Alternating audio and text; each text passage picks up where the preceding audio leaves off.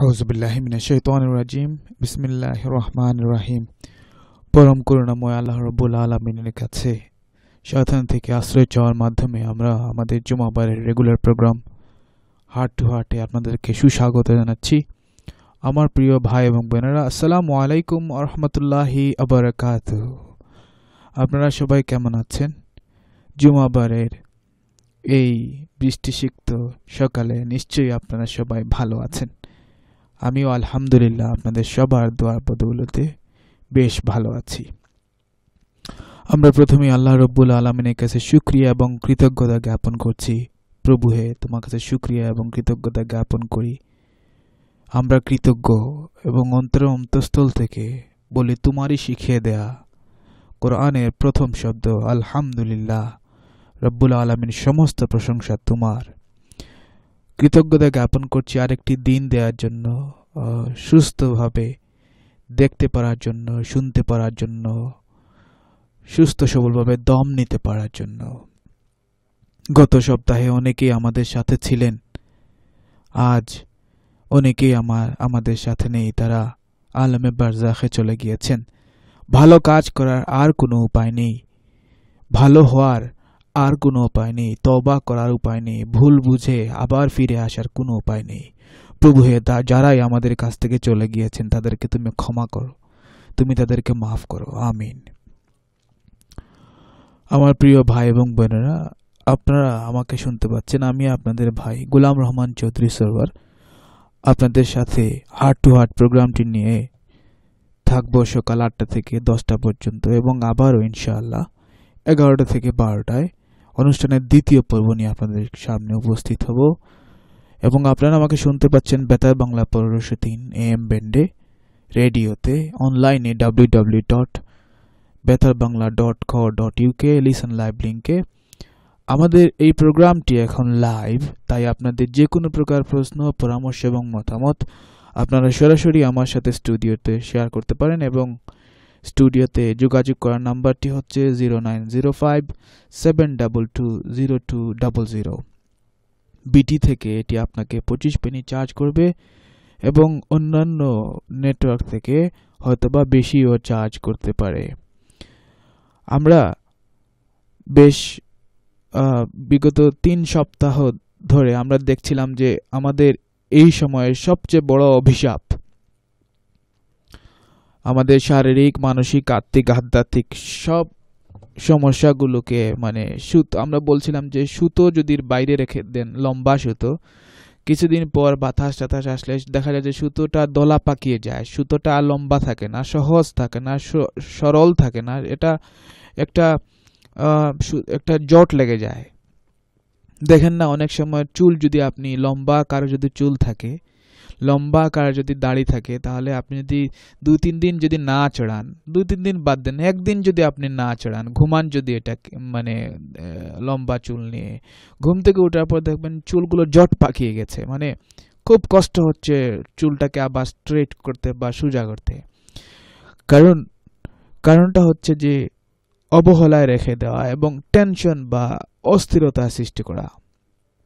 আমরা দেখছিলাম যে আমাদের জীবনে এই টেনশনটা হচ্ছে সব অন্যায়ের, সব পাপের, সব কিছুর জননী হচ্ছে এবং সব অশান্তির জননী হচ্ছে এই টেনশনটা তো টেনশন আমরা দেখছিলাম যে আসে তিন প্রকার তিন প্রকার জিনিসের কাছ থেকে। প্রথম টেনশন আসে আমাদের রিলেশনশিপ রিলেশনশিপ উইথ মানুষের সাথে রিলেশনশিপ থেকে। বিভিন্ন রকম সে রিলেশনশিপ রয়েছে বাবা মা ভাই বোন আত্মীয় স্বজন বন্ধু, বান্ধব এরপরে মানে কাজের জায়গায় বিভিন্ন রকম মানুষের সাথে বিভিন্ন রকম রিলেশন অর্থাৎ আপনার টেনশন জেনারেট করবে এগুলো এগুলো টেনশনের কারণ হবে?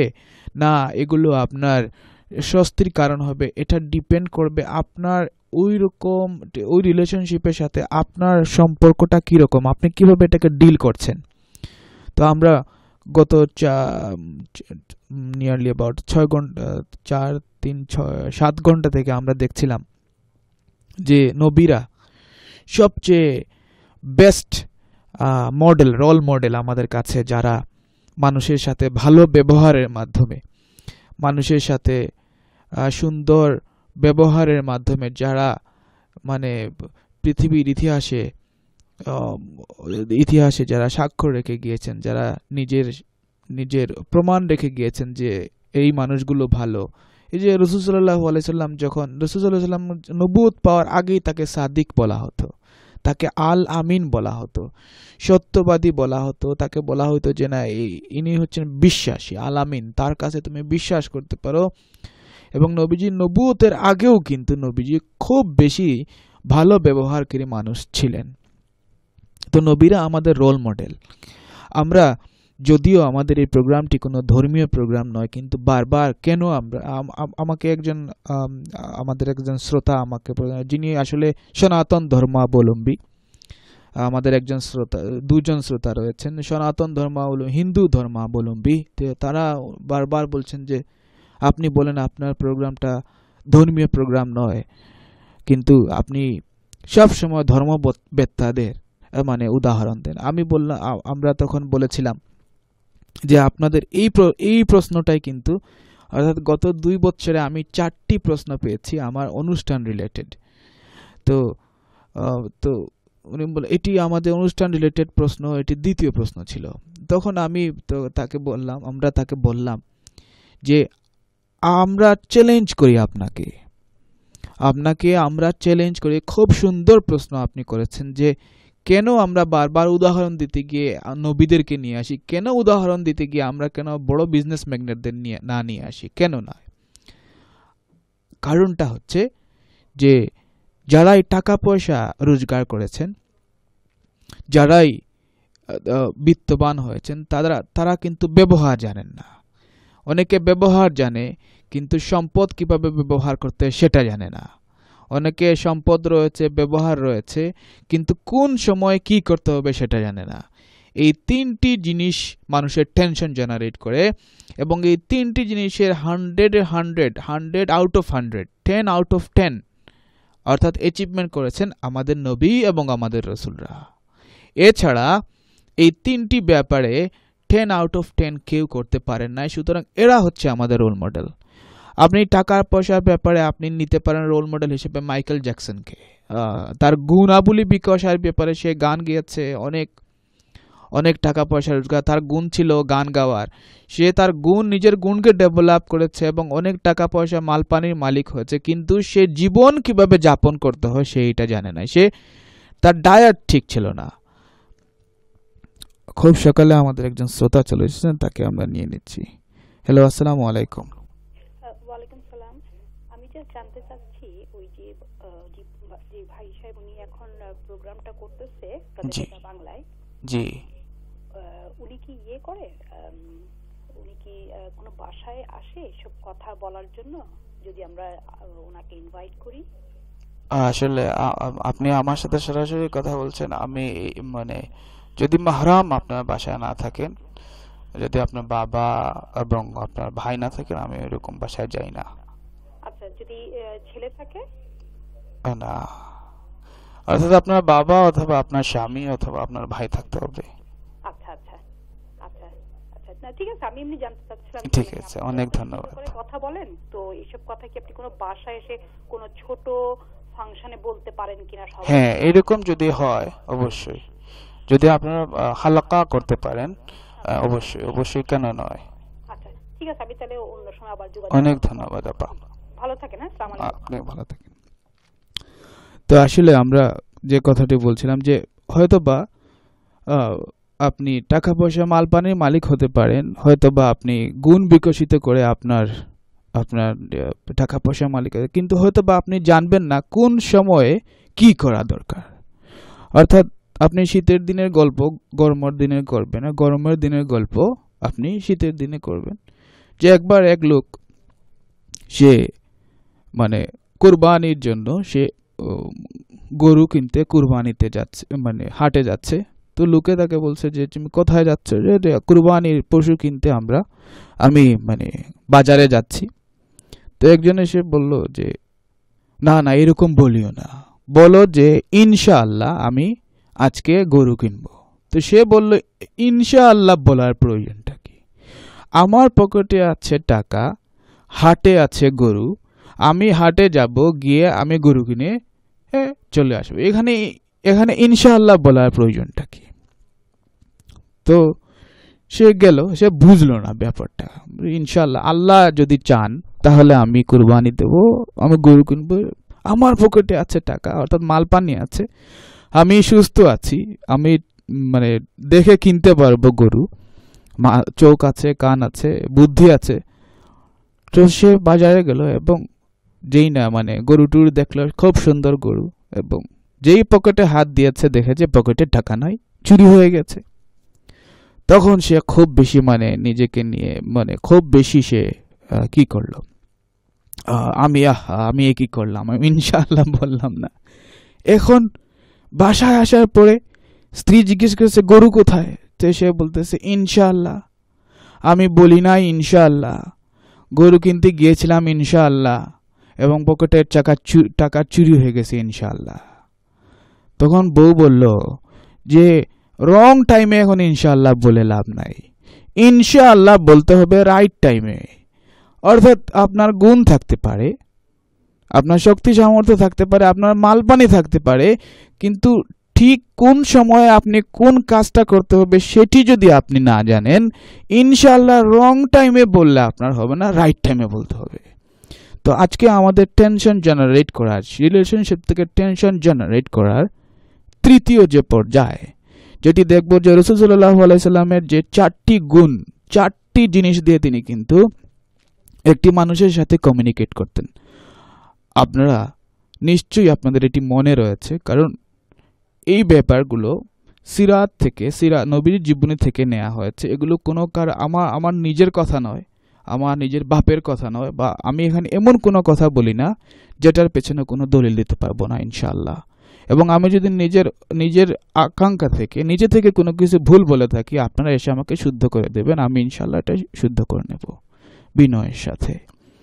তো আমরা জানছিলাম যে চারটি গুণ। Number one mastering the art of disconnecting অর্থাৎ কীভাবে নিজের আবেগ, নিজের অনুভূতি থেকে অন্যের সাথে রিলেশনশিপটাকে কীভাবে মানে আমার কষ্ট, আমরা দেখেছিলাম যে নবীজির নবীজিকে একজন বলছিল, নবীজি, আমার খিদে লেগেছে।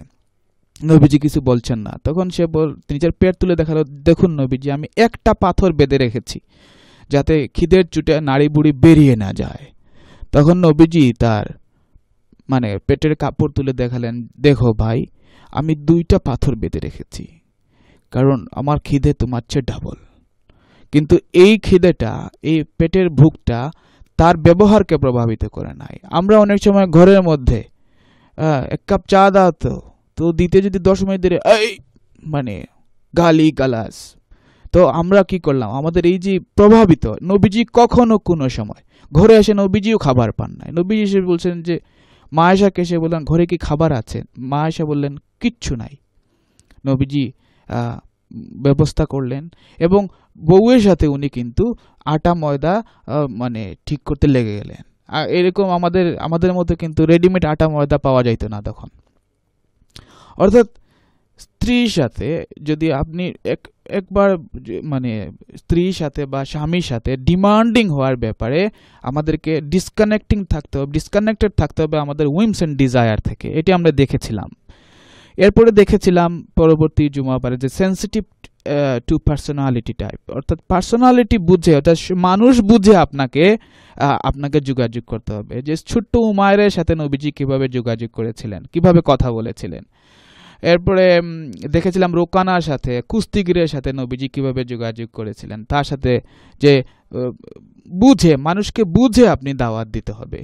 যে উইলিয়াম হিলে গিয়ে জুয়া খেলে মজা পায়। তাকে আপনি তাবলিক করে আপনি দিনের পথে আনতে পারবেন না। তাকে আপনি জুয়া দিয়ে জুয়া খেলে, তার সাথে জুয়া খেলে আপনি তাকে নিয়ে আসতে হবে যে, আমি তোমার চেয়ে বড় জুয়ারেই কারণ আমার চেয়ে বড় ব্যাট, আমার চেয়ে বড় বাজি তুমি ধরতে পারবে না।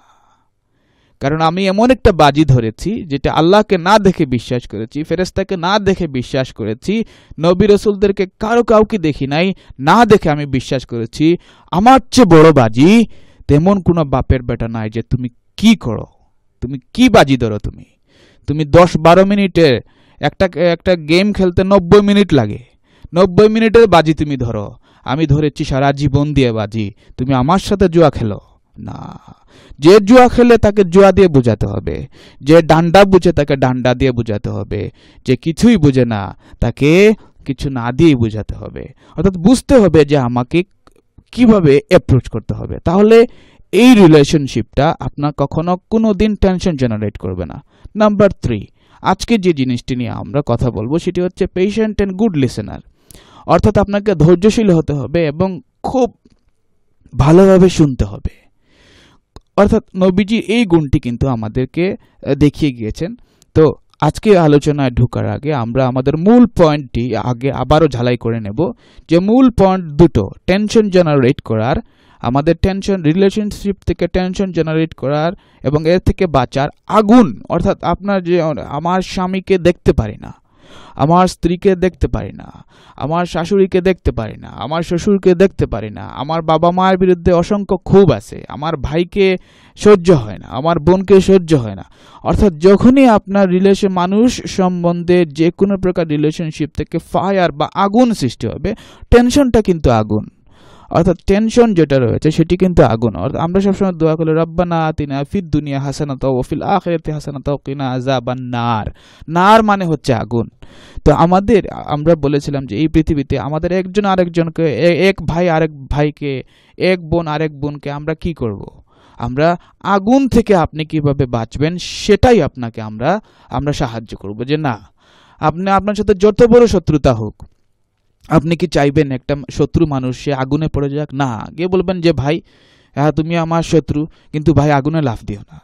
মানে আগুনে যে পড়ে যাক এরকম। ঠিক তেমনিভাবে আপনাদেরকে আমি কথাগুলো বলছি, খুব দরদ নিয়ে বলছি। বিকজ এগুলো, এই কথাগুলো আমি আমার জীবনে প্রয়োগ করে আমি খুব ভালো ফল পেয়েছি। এরকম না যে আমি মঙ্গল গ্রহ থেকে আসছি। এরকম না যে আমি একেবারে ইনসানে কামেল। আমি দুষে গুণে আপনার চেয়ে আমি বড় পাপী। আপনার চেয়ে বড় বড় দোষ আমি করেছি। আমার দোষ যদি আপনারা শুনেন, আপনারা বলবেন, একে বেঁধে ট্যাম্পস দিতে ফেলে দেই মানে পায়ের মধ্যে পাথর বেঁধে যেতে এত বক বক করে। এ মানে এত দোষ আমার রয়েছে। কিন্তু কিন্তু কি জন্য? শয়তানের মতো আমি হতাশ হয়ে যাইনি।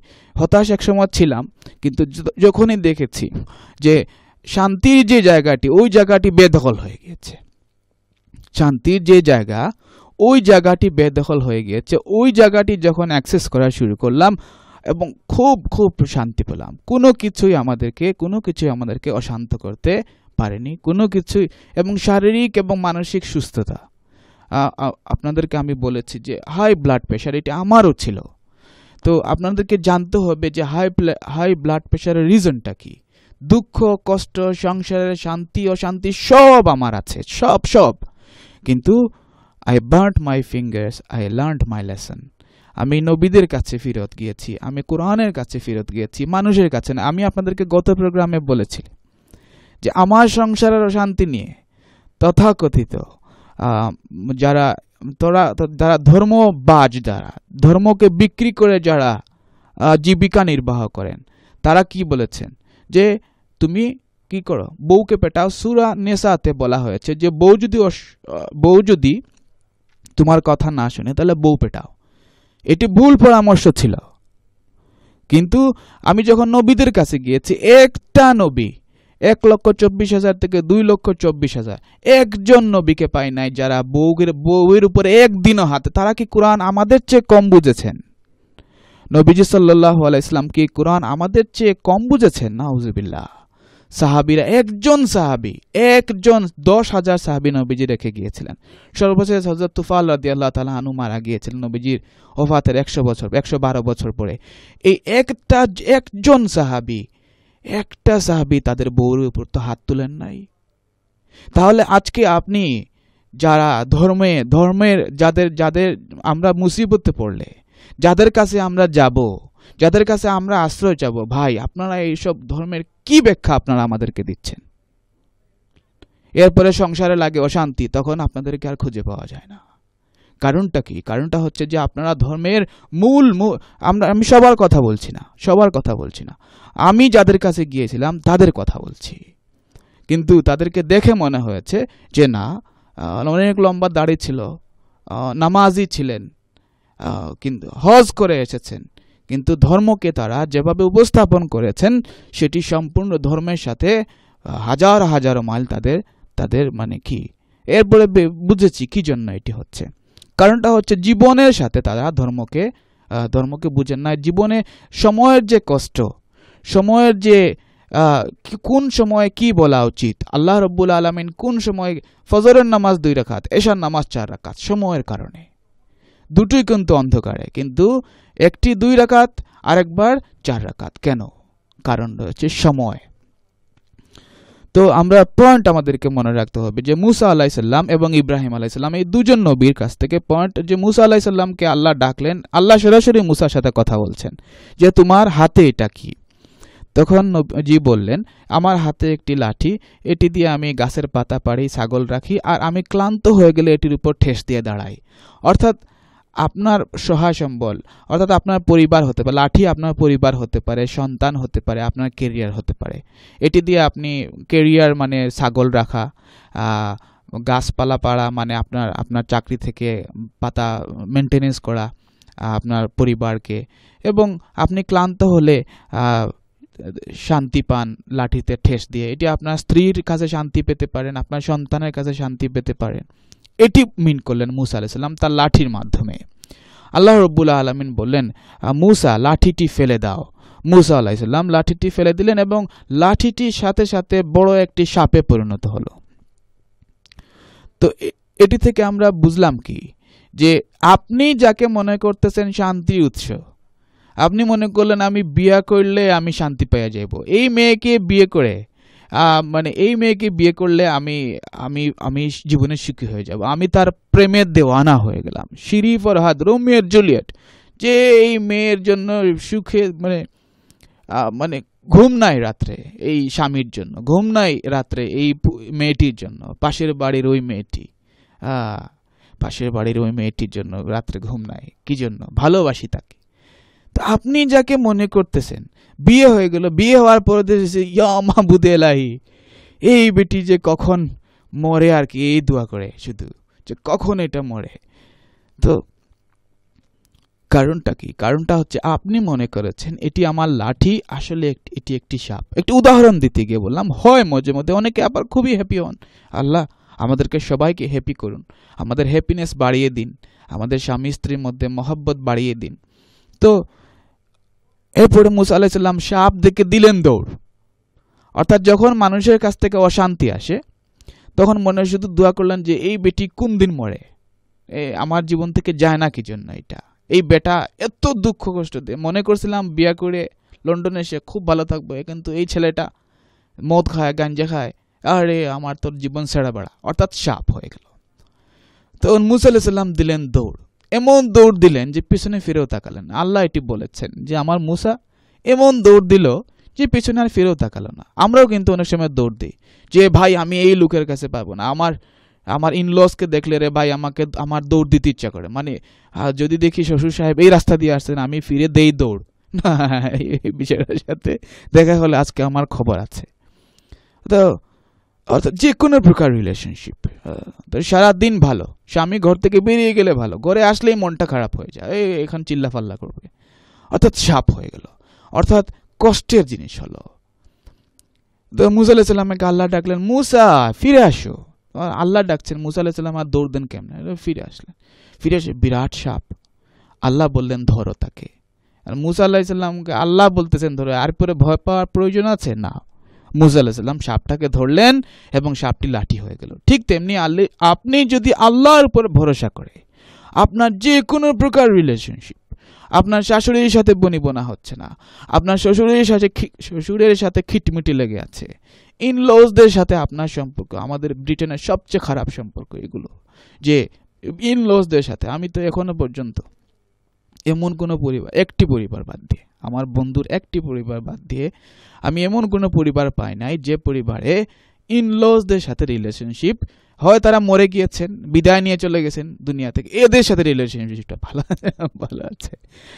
বাকিদের রিলেশনশিপে একটু না একটু মানে তিতকুটে ভাবটা রেখে বিকজ আপনি যদি এই সম্পর্কটাকে ঠিক করতে যান, তাহলে আপনাকে কি করতে হবে? আল্লাহর নামে শুরু করতে হবে।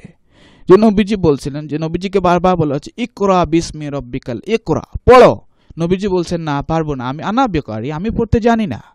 তা আপনাকে যদি বলা হয়, সম্পর্ক ঠিক করুন। আপনি বলবেন, না, আমি পারব না সম্পর্ক ঠিক করতে। এত কষ্ট দিয়েছে আমাকে।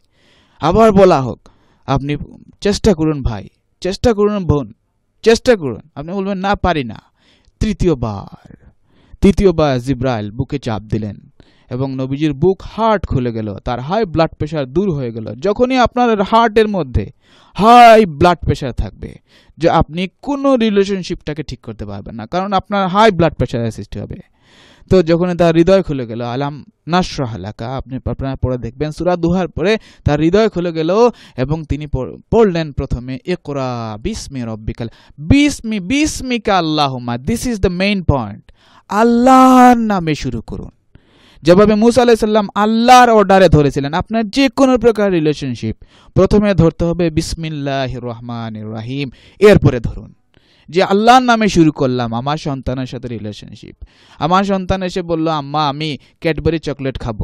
না না না, তোমাকে আমি ক্যাডবেরি চকলেট দেবো না। কারণটা কি? কারণটা হচ্ছে এটি খেলে তোমার দাঁত নষ্ট হবে, আব্বু। এটি খেলে তুমি অ্যাডিক্টেড হয়ে যাবে। আপনারা দেখবেন কিন্তু চকলেটে কিন্তু অ্যাডিকশন রয়েছে। আপনারা মনে করতে পারেন যে চকলেট মানে নিষ্পাপ একটি খাবার। না, চকলেট কিন্তু নিষ্পাপ খাবার না চকলেটের মধ্যে নেশা দেয়া আছে। যেমন ধরেন আপনার সন্তান যদি ক্যাডবারি খায়, দেখবেন এই সন্তান কিন্তু ওই যে অন্যটা খাবে না। অন্য চকলেট কিন্তু খাবে না। এবং চিকেন অ্যান্ড চিপসে কিন্তু স্পেশালি চিকেনের চিকেনের মধ্যে কিন্তু যে কোট যেটি ব্যবহার করা হয়, এতে মারাত্মক রকমের এক রকম অ্যাডিকশন অ্যাডিক্টেড একটা ইনগ্রিডিয়েন্ট ব্যবহার করা হয়। এবং এই এডিকশনটা কিন্তু তার ঘুরে ঘুরে তার কাছে বারবার আসবে। সিগারেটের মতো বাচ্চাদের কাছে। চিকেন চিকেন চিপস না, চিকেনের মধ্যে যেটা যে ইনগ্রিডিয়েন্ট ইউজ করা হয়। তো এটি, এটির মধ্যে একটি ড্রাগ রয়েছে, যেটি তাকে বারবার চিকেনের কাছে ফিরে যেতে বাধ্য করে। ইচ্ছে না থাকলেও তাকে খেতে বাধ্য করে। খিদে লাগলেই এই এই নেশা জাতীয় এই জিনিসটি তার ব্রেনের মধ্যে কিক দেয়। তো যাদের বাচ্চা মানে চকলেটে অ্যাডিক্টেড অনেকে রয়েছে, অনেকে কিন্তু মিল্কি ওয়েতে অ্যাডিক্টেড মিল্কি ওয়ে ছাড়া খায় না। ওই যে ছোটো ছোটো তিতকুটে টাইপের একরকম চকলেট রয়েছে, এগুলোর, এগুলোতে অ্যাডিক্টেড খুব বেশি খায়, খুব বেশি খায়। বাদে, এরপরে কি রয়েছে? গ্যালাক্সি চকলেট মিহি চকলেট গ্যালাক্সিটা কিন্তু একেবারে মিহি। স্নিকার্সটা কিন্তু মিহি না। এটি বাদাম দেয়া, নাট দেয়া। তো মিহি এডিক্টেড বাচ্চা রয়েছে একেবারে প্লেন চকলেট খায় এরকম বেবি রয়েছে কোকো খায় এরকম বেবি রয়েছে সব বেবি আপনার যদি চারটা সন্তান থেকে থাকে আপনি চকলেট এনে দেন দেখবেন এক একটা এক একটা এক এক বাচ্চা এক একটা চয়েস করতেছে ক্যারামেল খাইতেছে। তো আপনি যখনই আইডেন্টিফাই করতে পারবেন যে সে হ্যাঁ, ঠিক আছে। আমার আমার আমার বেবি গ্যালাক্সিতে অ্যাডিক্টেড তার এডিকশন থেকে বের করে নিয়ে আসার একমাত্র উপায় হচ্ছে চিকেন থেকে বের করে নিয়ে আসার একমাত্র উপায় হচ্ছে খুব বেশি চিকেন, খুব বেশি চকলেট এক বসাতে আপনি তাকে খেতে দিবেন। একদিনে আপনি দশ পাউন্ডে চিকেন এনে বলবেন যে, বাপজান, খাও। চিকেন এবং চকলেট, এই দুটো। যে, দেখি তুমি আজকে কত খাইতে পারো। তো সে যখন বেশি চিকেন খাবে খুব মজা করে খাওয়া শুরু, তাকে কিন্তু প্রেশার দিতে হবে যে, তুমি খাইতে হবে আজকে। খাইয়া বমি করলে অসুবিধা নাই, কিন্তু খেতে হবে। এটি এরপরে দেখবেন একটি গন্ধ লাগবে তার। এই যে চিকেনের প্রতি তার, এরপরে জীবনে সে কিন্তু আর খাবে না। যদি আপনি এক বসাতে এত পরিমাণ চিকেন খাওয়াতে পারেন, যে আব্বু গন্ধ না লাগা পর্যন্ত, খাইতে থাকো। তোমাকে আম্মু আজকে আজকে তোমাকে গিফট দেখি চকলেট এই নাও, তুমি কয়টা খাও চকলেট দুইটা। আজকে তোমাকে বিশটা চকলেট দিলাম, আব্বু, খাও। দেখবেন এরপরে কিন্তু সে, প্রথম চকলেট খাওয়া খুব বেশি কিন্তু প্রস্রাব হবে, পেশাব হবে, তার খুব বেশি বাথরুমে যাবে। ভয় পাওয়ার কিছু নেই বাট একবারে বসে যদি তাকে বেশি চকলেট একবারে এই ছেলে, এই এই মেয়ে সেকেন্ড টাইম তার যে এডিক্টেড যে চকলেটের যে ইনগ্রিডিয়েন্ট আছে সেটি থেকে, সেটির দিকে আর যাবে না তার। মানে এটির প্রতি তার একটি বিরূপ মনোভাব সৃষ্টি হবে। যেভাবে আমাদের বিসিজির টিকাগুলো দেয়া হয়, যে যে ভ্যাকসিন যেগুলো দিয়েছেন বাচ্চাদেরকে, এই ভ্যাকসিনগুলো কিন্তু ওই রুগী। যেমন টিউবারকুলোসিস এর জন্য যে আপনি ভ্যাকসিন দিয়েছেন, ওইটা কিন্তু টিউবারকুলোসিসের জীবাণুই কিন্তু আপনার ভিতরে ঢুকিয়ে দিয়েছে। তো আমাদের ইমিউন সিস্টেমকে জানার জন্য। তো যখনই আপনি টিট ফর ট্যাট কাটা দিয়ে কাটা তুলবেন। আচ্ছা। আর আমরা এদিকে যাচ্ছি না ইনশাল্লাহ পরবর্তীতে আমরা সময় পেলে এই চাইল্ড শিশুদের যে মানে এডিকশন বাচ্চাদের কি কি এডিকশন রয়েছে, এগুলো নিয়ে ইনশাল্লাহ আমরা বিস্তারিত একসময় আলাপ করব। তো, মুসা আলাইসাল্লাম ধরলেন সাপটাকে আল্লাহর নাম নিয়ে এই সাপটা লাঠিতে আবার পরিণত হলো। তো আপনার যে কোনো প্রকার রিলেশনশিপ আপনি কারও কথা দ্বারা বিভ্রান্ত হবেন না। স্বামী স্ত্রীর মানে খিটমিটি লেগে আছে। আপনি কখনো কোনো দিন তৃতীয় কোনো পক্ষকে, আপনার বাবা হন, আপনার মা হন, এইরকম মানুষকে জড়াবেন না। না, আমি নিজে সাক্ষী, আমি নিজে সাক্ষী। আপনাদেরকে বলছি, আমি নিজে দেখেছি, এক মেয়ে, তিন ছেলে। একমাত্র, একটা মাত্র মেয়ে তার, একটা মাত্র মেয়ে তার। সে নিজের একজন বাবা যিনি হজ করে এসেছেন, নামাজি মানুষ।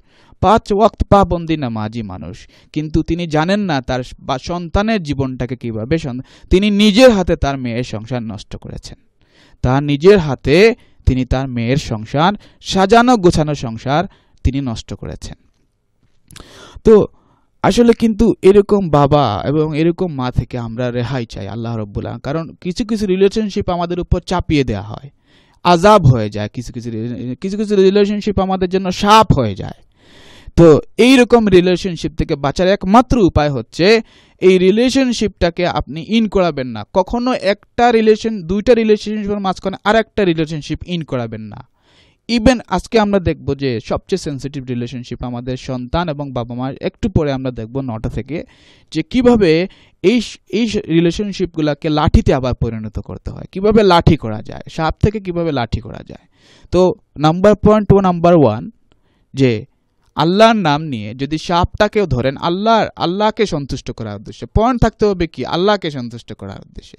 যে আমার স্বামীর সাথে রিলেশনশিপ বউয়ের সাথে রিলেশনশিপ ভাইয়ের সাথে রিলেশনশিপ বোনের সাথে রিলেশনশিপ আমার কর্মস্থলের রিলেশনশিপ এগুলো আমি ডেভেলপ করতে চাই কার জন্য? আল্লাহ রব্বুল আলমিনের জন্য। অ্যান্ড দেন স্টার্ট বিস্মিকা আল্লাহমা দুই নম্বর পয়েন্ট যে ইব্রাহিম আলাইসাল্লামকে ডাইরেক্ট আগুনে, আগুন মানে টেনশন আমরা বলেছি স্ট্রেস টেনশন ডাইরেক্ট আগুনে ফেলে দেওয়ার কথা বলা হচ্ছিল। ওই সময়ে তৃতীয় পার্টি হিসাবে এসেছিলেন জিব্রাইল আলাইসাল্লাম যে আপনার কি কোনো সাহায্যের প্রয়োজন? তখন ইব্রাহিম আলাইসাল্লাম বলেছিলেন, আমি এমন কোনো অন্ধ অন্ধ প্রভুর ইবাদত করি না, যিনি আমাকে এই মহা মুসিবতে আমাকে দেখতে পাচ্ছেন না। ইউ মে গো আপনি আসতে পারেন। আপনার কোনো প্রয়োজন আমার নেই। তো আপনি এটা মনে রাখবেন যে আপনার অশান্তি এবং আপনি, এটা যে কিছু হতে পারে। আপনি প্রথমে টার্ন করতে হবে কোন দিকে? প্রথমে কিন্তু আপনার কাছে তো অফারও আসে যে আমরা অনেককে দেখেছি যে এই দেশে সংসার ভাঙার জন্য, সংসার ভাঙার জন্য ইনজাংশন দিতে পারবেন। সংসার ভাঙার জন্য আপনি স্ক্রু করার জন্য স্বামীকে, স্ত্রীকে ইনজাংশন দিতে পারবেন, যা তুমি আমার কাছে আসিও না। সংসার ভাঙার জন্য আপনি লিগেল এইড পাইতে পারেন, আপনি ইলিগেল এইড পাইতে পারেন। সংসার ভাঙার জন্য আপনি মানুষের পরামর্শ পাইতে পারেন, আপনি সব কিছু পারেন সংসার ভাঙার জন্য। বিয়েটাকে কীভাবে ভেঙে ফেলা যায়? এবং বাবা থেকে বাচ্চাকে কীভাবে আলাদা রাখা যায়? বাবা বাবা থেকে বাচ্চাকে, মা থেকে বাচ্চাকে, বাচ্চা থেকে বাচ্চাকে কীভাবে স্প্লিট করে ফেলা যায়, এই দেশে আপনি সব রকম সহযোগিতা পাবেন। সব রকম সহযোগিতা পাবেন আপনি। আপনার সংসারকে ভাঙার জন্য। কিন্তু সংসারকে গড়ার জন্য? সে ফর এক্সাম্পল আমরা ধরি ধরি যে আমি বিয়ে করব। আজকে যদি গভর্নমেন্ট এটা বলব, এটা যদি বলতো যে ঠিক আছে, তুমি বিয়ে করবা। আগামী আড়াই বছর তোমার কোনো ট্যাক্স নাই ট্যাক্স ফ্রি ইনকাম কারণ তুমি বিয়ে করবে। না, এটা হবে না। আপনাকে ট্যাক্স দিতে হবে। আচ্ছা ঠিক আছে, তোমার বেবি হইল, মা। বাপের মা বাবার একটা সন্তান হইল। ঠিক আছে, তোমার আগামী পাঁচ বছর তোমার বাপের উপর কোনো ট্যাক্স নাই। না, এটি হবে না না না না না না, এটি এটি হবে না। কিন্তু কিন্তু আপনার সংসারকে ভাঙার জন্য যত প্রকার লিগেল ইলিগেল এইড সব কিছু আপনি পাবেন, সব কিছু আপনি পাবেন। তো এই এটা মনে রাখবেন যে থার্ড পার্টি হিসেবে যেই ইনভলভ হবে, এরা সবাই হচ্ছে, আমরা আগে বলেছিলাম যে ইভেন ইনলোজরা কিন্তু আউটলোজ হয়ে যায়। নিজের মেয়ের সংসার, নিজের ছেলের সংসার, আপন আপন মানুষগুলো নষ্ট করে ফেলে, আপন মানুষগুলো নষ্ট করে ফেলে। আমি কি ভুল বললাম? আপনারাই বলুন, আমি কি ভুল বললাম? তো কেন আমরা এগুলো বুঝতে পারি না? কারণ আমরা যে রিলেশনশিপটাকে লাঠি মনে করতেছি, আসলে এই রিলেশনশিপটা শয়তানের মতো সাপ হয়ে গেছে তো বুঝতে হলে আমাদেরকে কি করতে হবে? এই রিলেশনশিপটা সাপ না লাঠি, এটাকে বুঝতে হলে আমাকে আল্লাহর কাছে আল্লাহর কাছে, আল্লাহর কিতাবের কাছে ফিরে আসতে হবে। মোল্লার কাছে নয়, পীরের কাছে নয়, কোনো আলেমের কাছে না আমরা সবাইকে শ্রদ্ধা করি। হক্কানি পীরকে শ্রদ্ধা করি। হক্কানি আলেমকে শ্রদ্ধা করি হক্কানি ইমামকে শ্রদ্ধা করি হক্কানি ধর্ম ধর্ম ধার্মিক মানুষকে আমরা অন্তরের অন্তঃস্থল থেকে আমরা শ্রদ্ধা করি। কিন্তু যারা ধর্মবাজ, যারা ধর্ম ব্যবসায়ী, যারা ধর্মকে বিক্রি করে নিজের পেট চালায়, তারা যারা ধর্মকে কোরআনকে বিকৃত ব্যাখ্যা করে, যারা মানুষের সংসারে অশান্তির সৃষ্টি করে, আমরা তাদেরকে ঘৃণা করি। তাদের জন্য আমরা দোয়া করি যাতে আল্লাহ রব্বুল আলমিন তাদেরকে সিরাতুল মুস্তাকিমের পথে ফিরিয়ে নিয়ে আসেন। আর যদি না আসেন, তাদেরকে যদি না হয়, তাদের কপালে এই সৌভাগ্য না হয়, তাদেরকে আল্লাহ যাতে তাদের কাছ থেকে আমাদেরকে হেফাজত করেন। তো সবসময় মনে রাখতে হবে আপনাদেরকে যে কোনো মানুষের কাছে নয়, জিব্রাইলের কাছে নয়, ফিরে আসতে হবে আপনার আল্লাহর কাছে এবং আল্লাহর কাছে ফিরে আসার একমাত্র উপায় হচ্ছে কোরআন। এবং আমরা আমাদের নবীদের জীবনে দুঃখ ছিল, নবীদের জীবনে সংসারের অশান্তি ছিল, নবীদের জীবনে কিন্তু সংসারে আমরা আজকে দেখব যে নবীজি নবীদের জীবনে কত পরীক্ষা ছিল। আমরা আমরা আজকে আড়াই বছর যাবত আমরা যে জিনিসটি দেখছি যে সারা নবীদের গল্প বলে সব একজন নবীকে দেখান, একজন নবীকে আপনি দেখান যে নবীদের নবীদের ডিভোর্স হয়েছে। এক, একজন নবী প্লিজ এক লক্ষ চব্বিশ হাজার অথবা দুই লক্ষ চব্বিশ হাজার নবীদের মধ্যে একজন নবীকে আপনি তুলে দেখান যে, ভাই, দেখেন এদের জীবনের তারা কিন্তু হ্যাপিলি এবার আফটার ছিলেন এরকম ছিল না। হজরত আইব আলাইসাল্লামের জীবনে দুঃখ এসেছিল, তার মেডিকেল কন্ডিশন ছিল, তার সমস্ত শরীর সমস্ত শরীর নষ্ট হয়ে গিয়েছিল, তার সমস্ত সম্পত্তি নষ্ট হয়ে গিয়েছিল, তার বউরা তাকে ছেড়ে চলে গিয়েছিল, একজন বাদে, মা রহিমা বাদে। কিন্তু কিন্তু মানে মা রহিমা তো তাকে ছেড়ে চলে যান নাই। তো আমরা আমরা আজকে দেখব যে আমরা আগে আপনাদেরকে কথা দিয়েছিলাম যে পুরুষ এবং নারী ইলেভেন টাইপস অফ নারী রয়েছে। এর মধ্যে দশ প্রকার নারী নারী নয়। এরা সুবিধাবাদ, জিন্দাবাদ। আর এগারো প্রকার পুরুষ রয়েছে। এগারো প্রকার পুরুষদের মধ্যে দশ প্রকার পুরুষ পুরুষ নয়, এরা সুবিধাবাদ, জিন্দাবাদ, একটা মাত্র পুরুষ পুরুষ। আমরা আপনাদেরকে কথা দিয়েছিলাম, তো আজকে সেই আলোচনাটাতে যাব, হাদিসে আয়সা অর্থাৎ আয়সা রাদিল্লাহ তালানোর এই হাদিসকে বলা হয়। এটি ও খুব লম্বা একটি হাদিস, আমরা সংক্ষেপে এটি আজকে জানব, যে পুরুষ কত প্রকার। আমরা জেনেছিলাম যে নারীরা এগারো প্রকার। এগারো প্রকার নারী দেখেছিলাম। হজরত আইব আলাইসাল্লামের স্ত্রী ছিলেন এগারো জন। এগারো জন স্ত্রীর মধ্যে কিন্তু দশজন স্ত্রী তাকে স্বজ্ঞানের স্ব ইচ্ছায় তাকে পরিত্যাগ করেছিলেন। অর্থাৎ উনি, তারা বলেছিলেন যে তোমার পয়সার জন্য, তোমার পয়সা নাই। চল্লিশ বছর তুমি খুব ধনী ছিলে, তোমার পয়সা নাই। তোমার কাছে মানে আমরা থাকব না। তোমার পয়সা নাই, তোমার সম্মান নাই, তোমার কাছে থাকব না। এবং তোমার শরীর নাই। সুতরাং তোমার কাছে আমরা থাকব না। এই দশ প্রকার নারী তাকে বিপদের সময় তাকে, তারা কিন্তু পরবর্তীতে আবার ফিরে এসেছিলেন। কিন্তু ওই সম্মানটা আর উনারা পান নাই। তাদেরকে ক্ষমা করা হয়েছিল, কিন্তু ওই সম্মানটা ওনারা পান নাই। এবং আপনারা যদি দেখেন যে ইউসুফ আলাহ ইসলামের এগারো জন ভাইকে কিন্তু, ভাইকে কোরআন শরীফে বলা হয়েছে, এগারো জন ভাইয়ের মধ্যে একজন ভাই বেনিয়ামিন বাদে বাকি দশজন ভাই কিন্তু গুন্ডা ছিল। তাহলে এই দশজন পুরুষকে আমাদেরকে আজকে জানতে হবে যে এই পুরুষগুলা কীরকম পুরুষ যাদেরকে নিয়ে সংসার নারীরা করছেন। আমরা দেখেছিলাম যে হজরত আইব আলাইসাল্লাম যে দশ প্রকার নারী, একটা, একজন নারী মা রহিমা তার সাথে ছিলেন এবং সেই নারী যে লা ইলাহা ইল্লাল্লাহ, এটি তাওহিদকে বুঝতে পেরেছেন। এই নারীটাই হইতেছে, অর্থাৎ যে ধর্ম ভীরু যে ধর্ম সচেতন, যে আল্লাহ সচেতন, যে আল্লাহ ভীরু নারী, সেই নারী হচ্ছে একমাত্র নারীত্বের নারী। যে আল্লাহ ভীরু মানুষ, সেই হচ্ছে পৌরুষ সম্পন্ন পুরুষ। দেখতে, বাইরে দেখতে কিন্তু একটা পুরুষকে পুরুষ মনে হইতে পারে। কিন্তু ভিতরে তার পৌরুষ নাও থাকতে পারে। বউকে পেটাইলে এটা পুরুষ, স্বামী স্ত্রীকে পেটাইতে পারবেন, কিন্তু পৌরুষ নাও আপনার থাকতে পারে।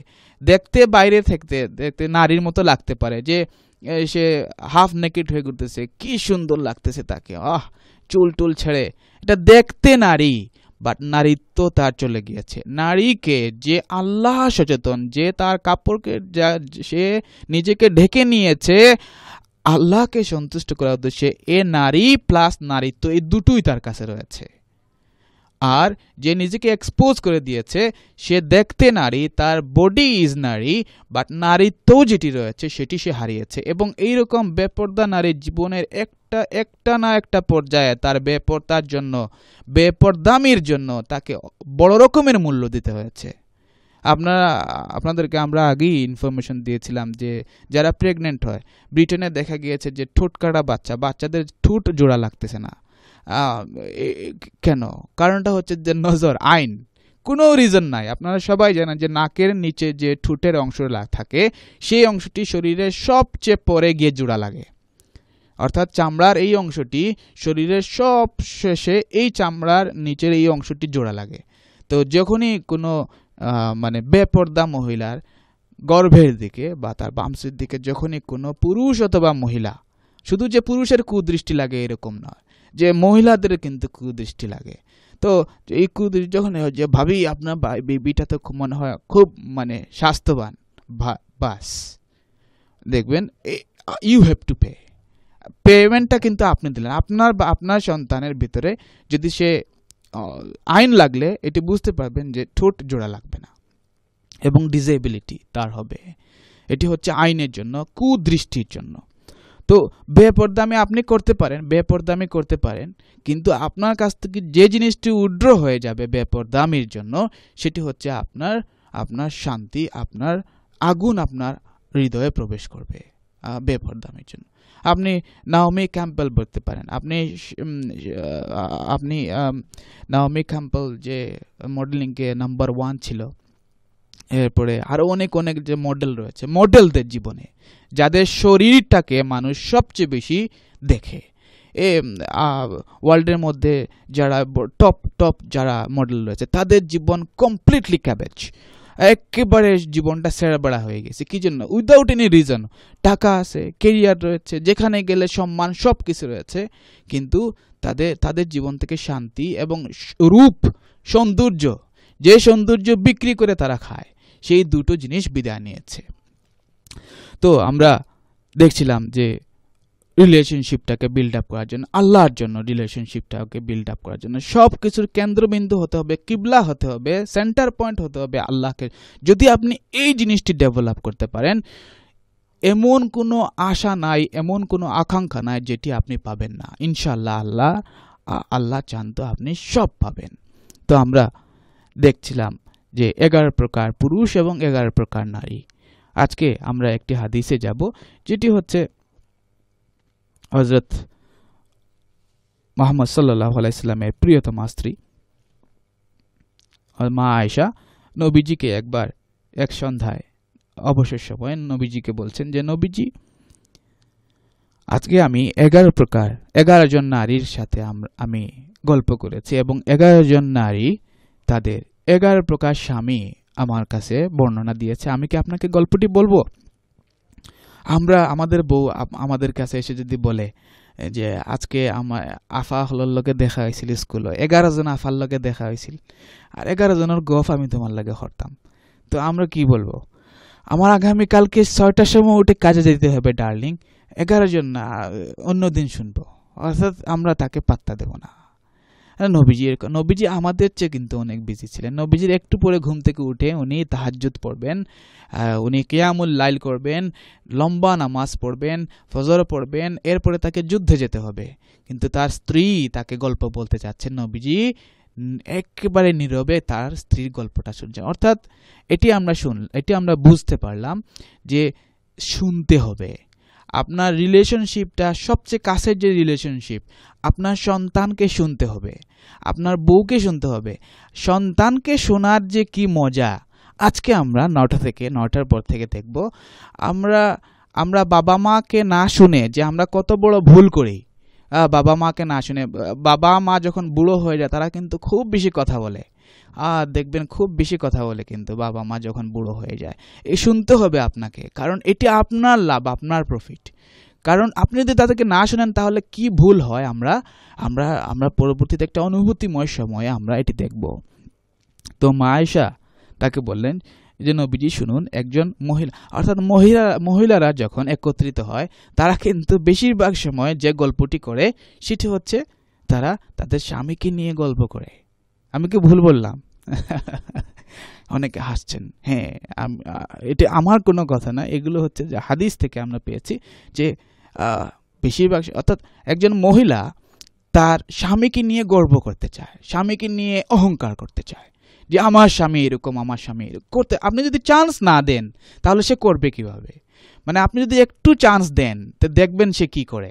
মানে সাংঘাতিক। আপনি প্রতিদিন চা নিয়ে আসে। আজকে আপনি চা নিয়ে বলেন যে, ডার্লিং, ও এত সুন্দর চা বানিয়েছে, খুব সুন্দর চা।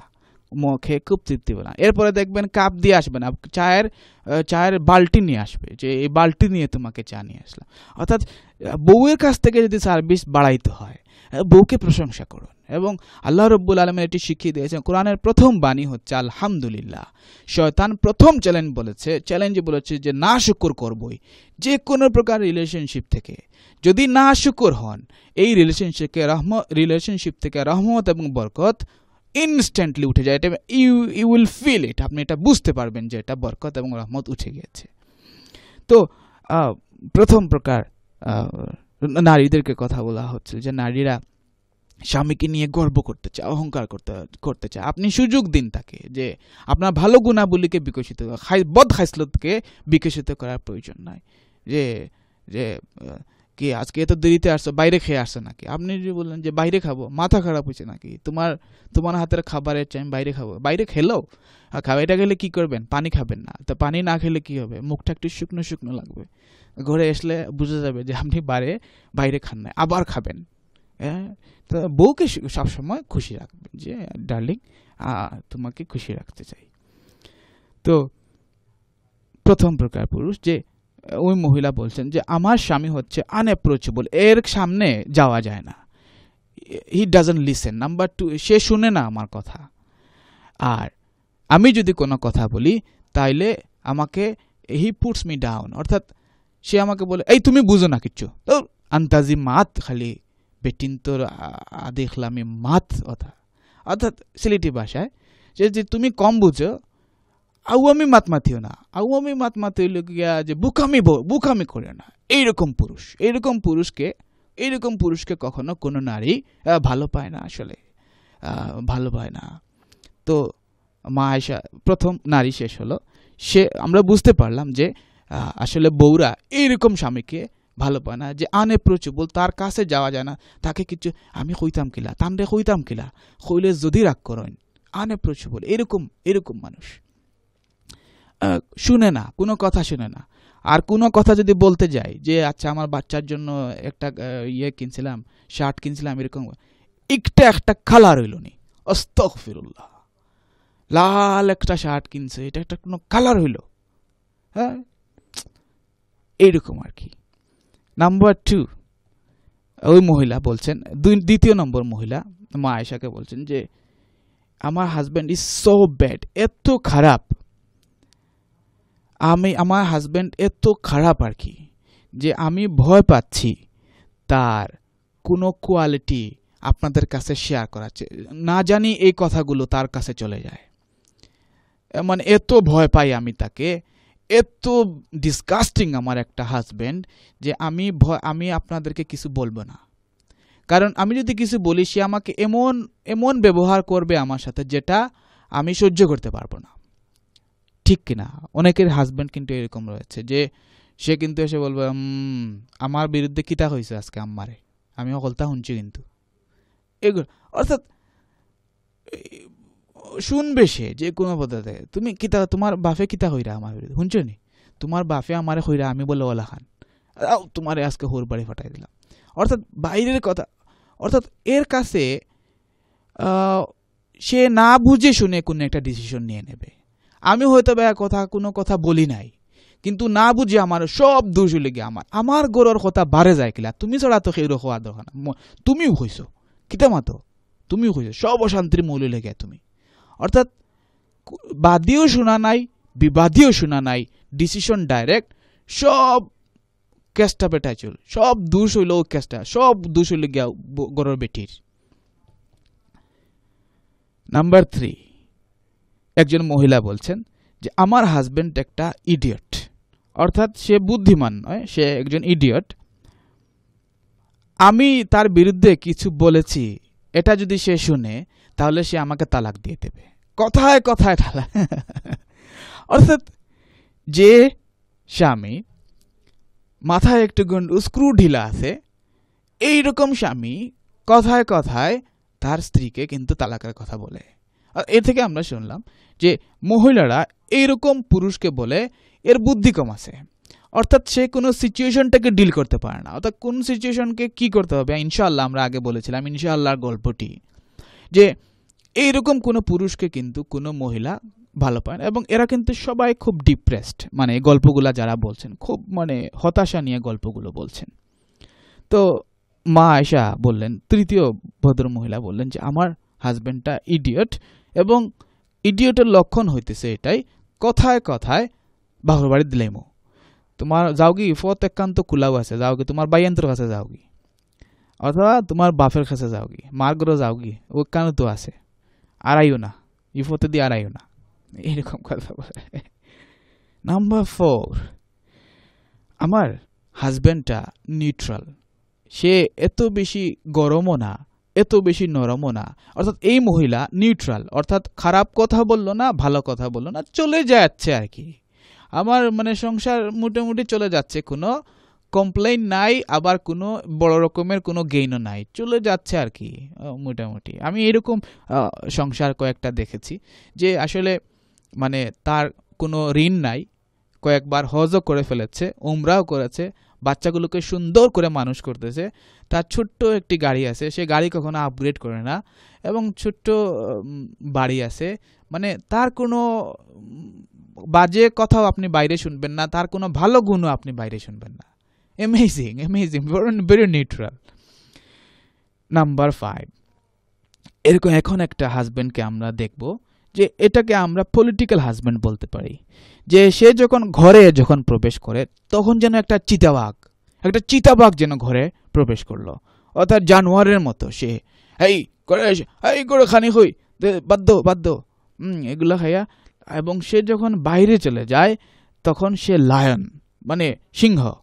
এবং সে আমাকে কত টাকা দে, আমার আয় ব্যয়ের ব্যাপারে কোনো কিছু জিজ্ঞেস করে না। অর্থাৎ বউয়ের ব্যাপারে, বউ লুকিয়া তার জন্য হান্ডি মাস্টারি, হান্ডি মাস্টার। খানি হই খানি হই, আমার খাফরটা হই।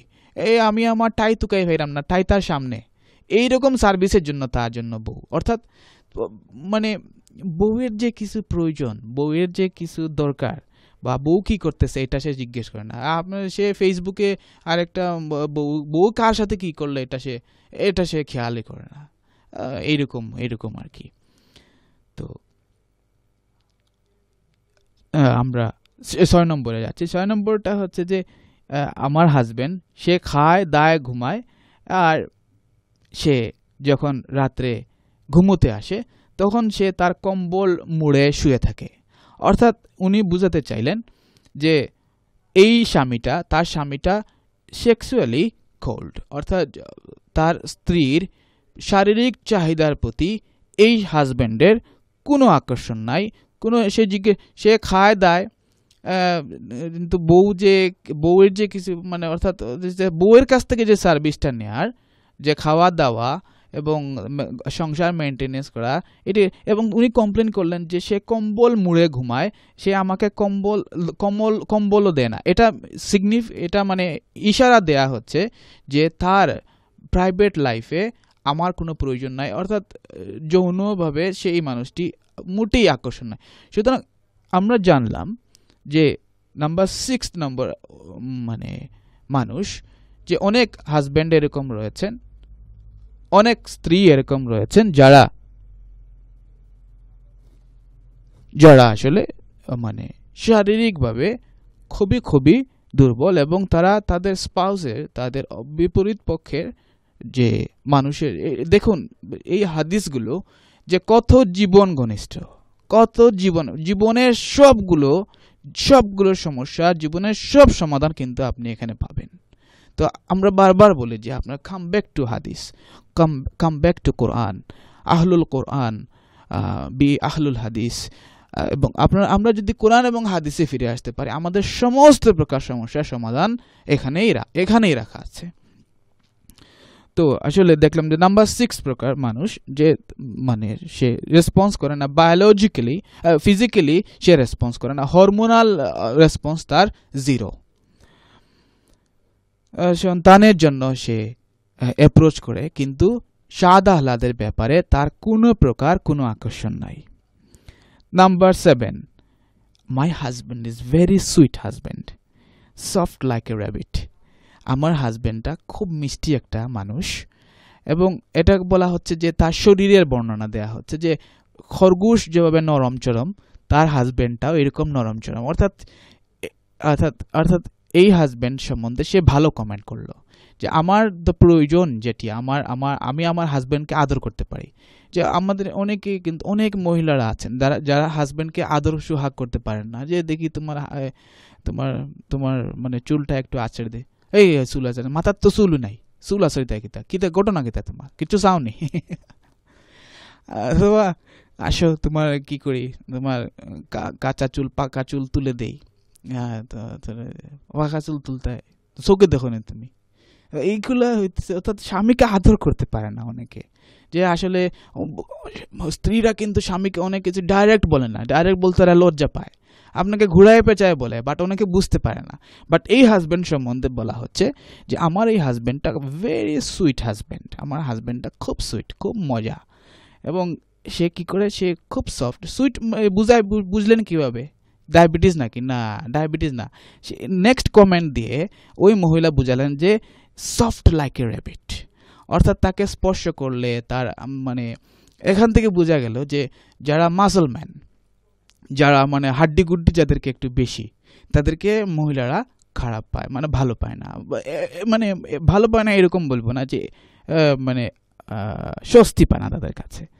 তো, এবং আট এবং নয় এবং দশ, এই তিন প্রকার, এই তিন তিন প্রকার পুরুষ আমরা এই অনুষ্ঠানে, এই মুহূর্তে আমি বর্ণনা করছি না। আপনারা এই হাদিসটি পড়ে নেবেন। আমি এগারো নম্বর পুরুষে চলে যাচ্ছি।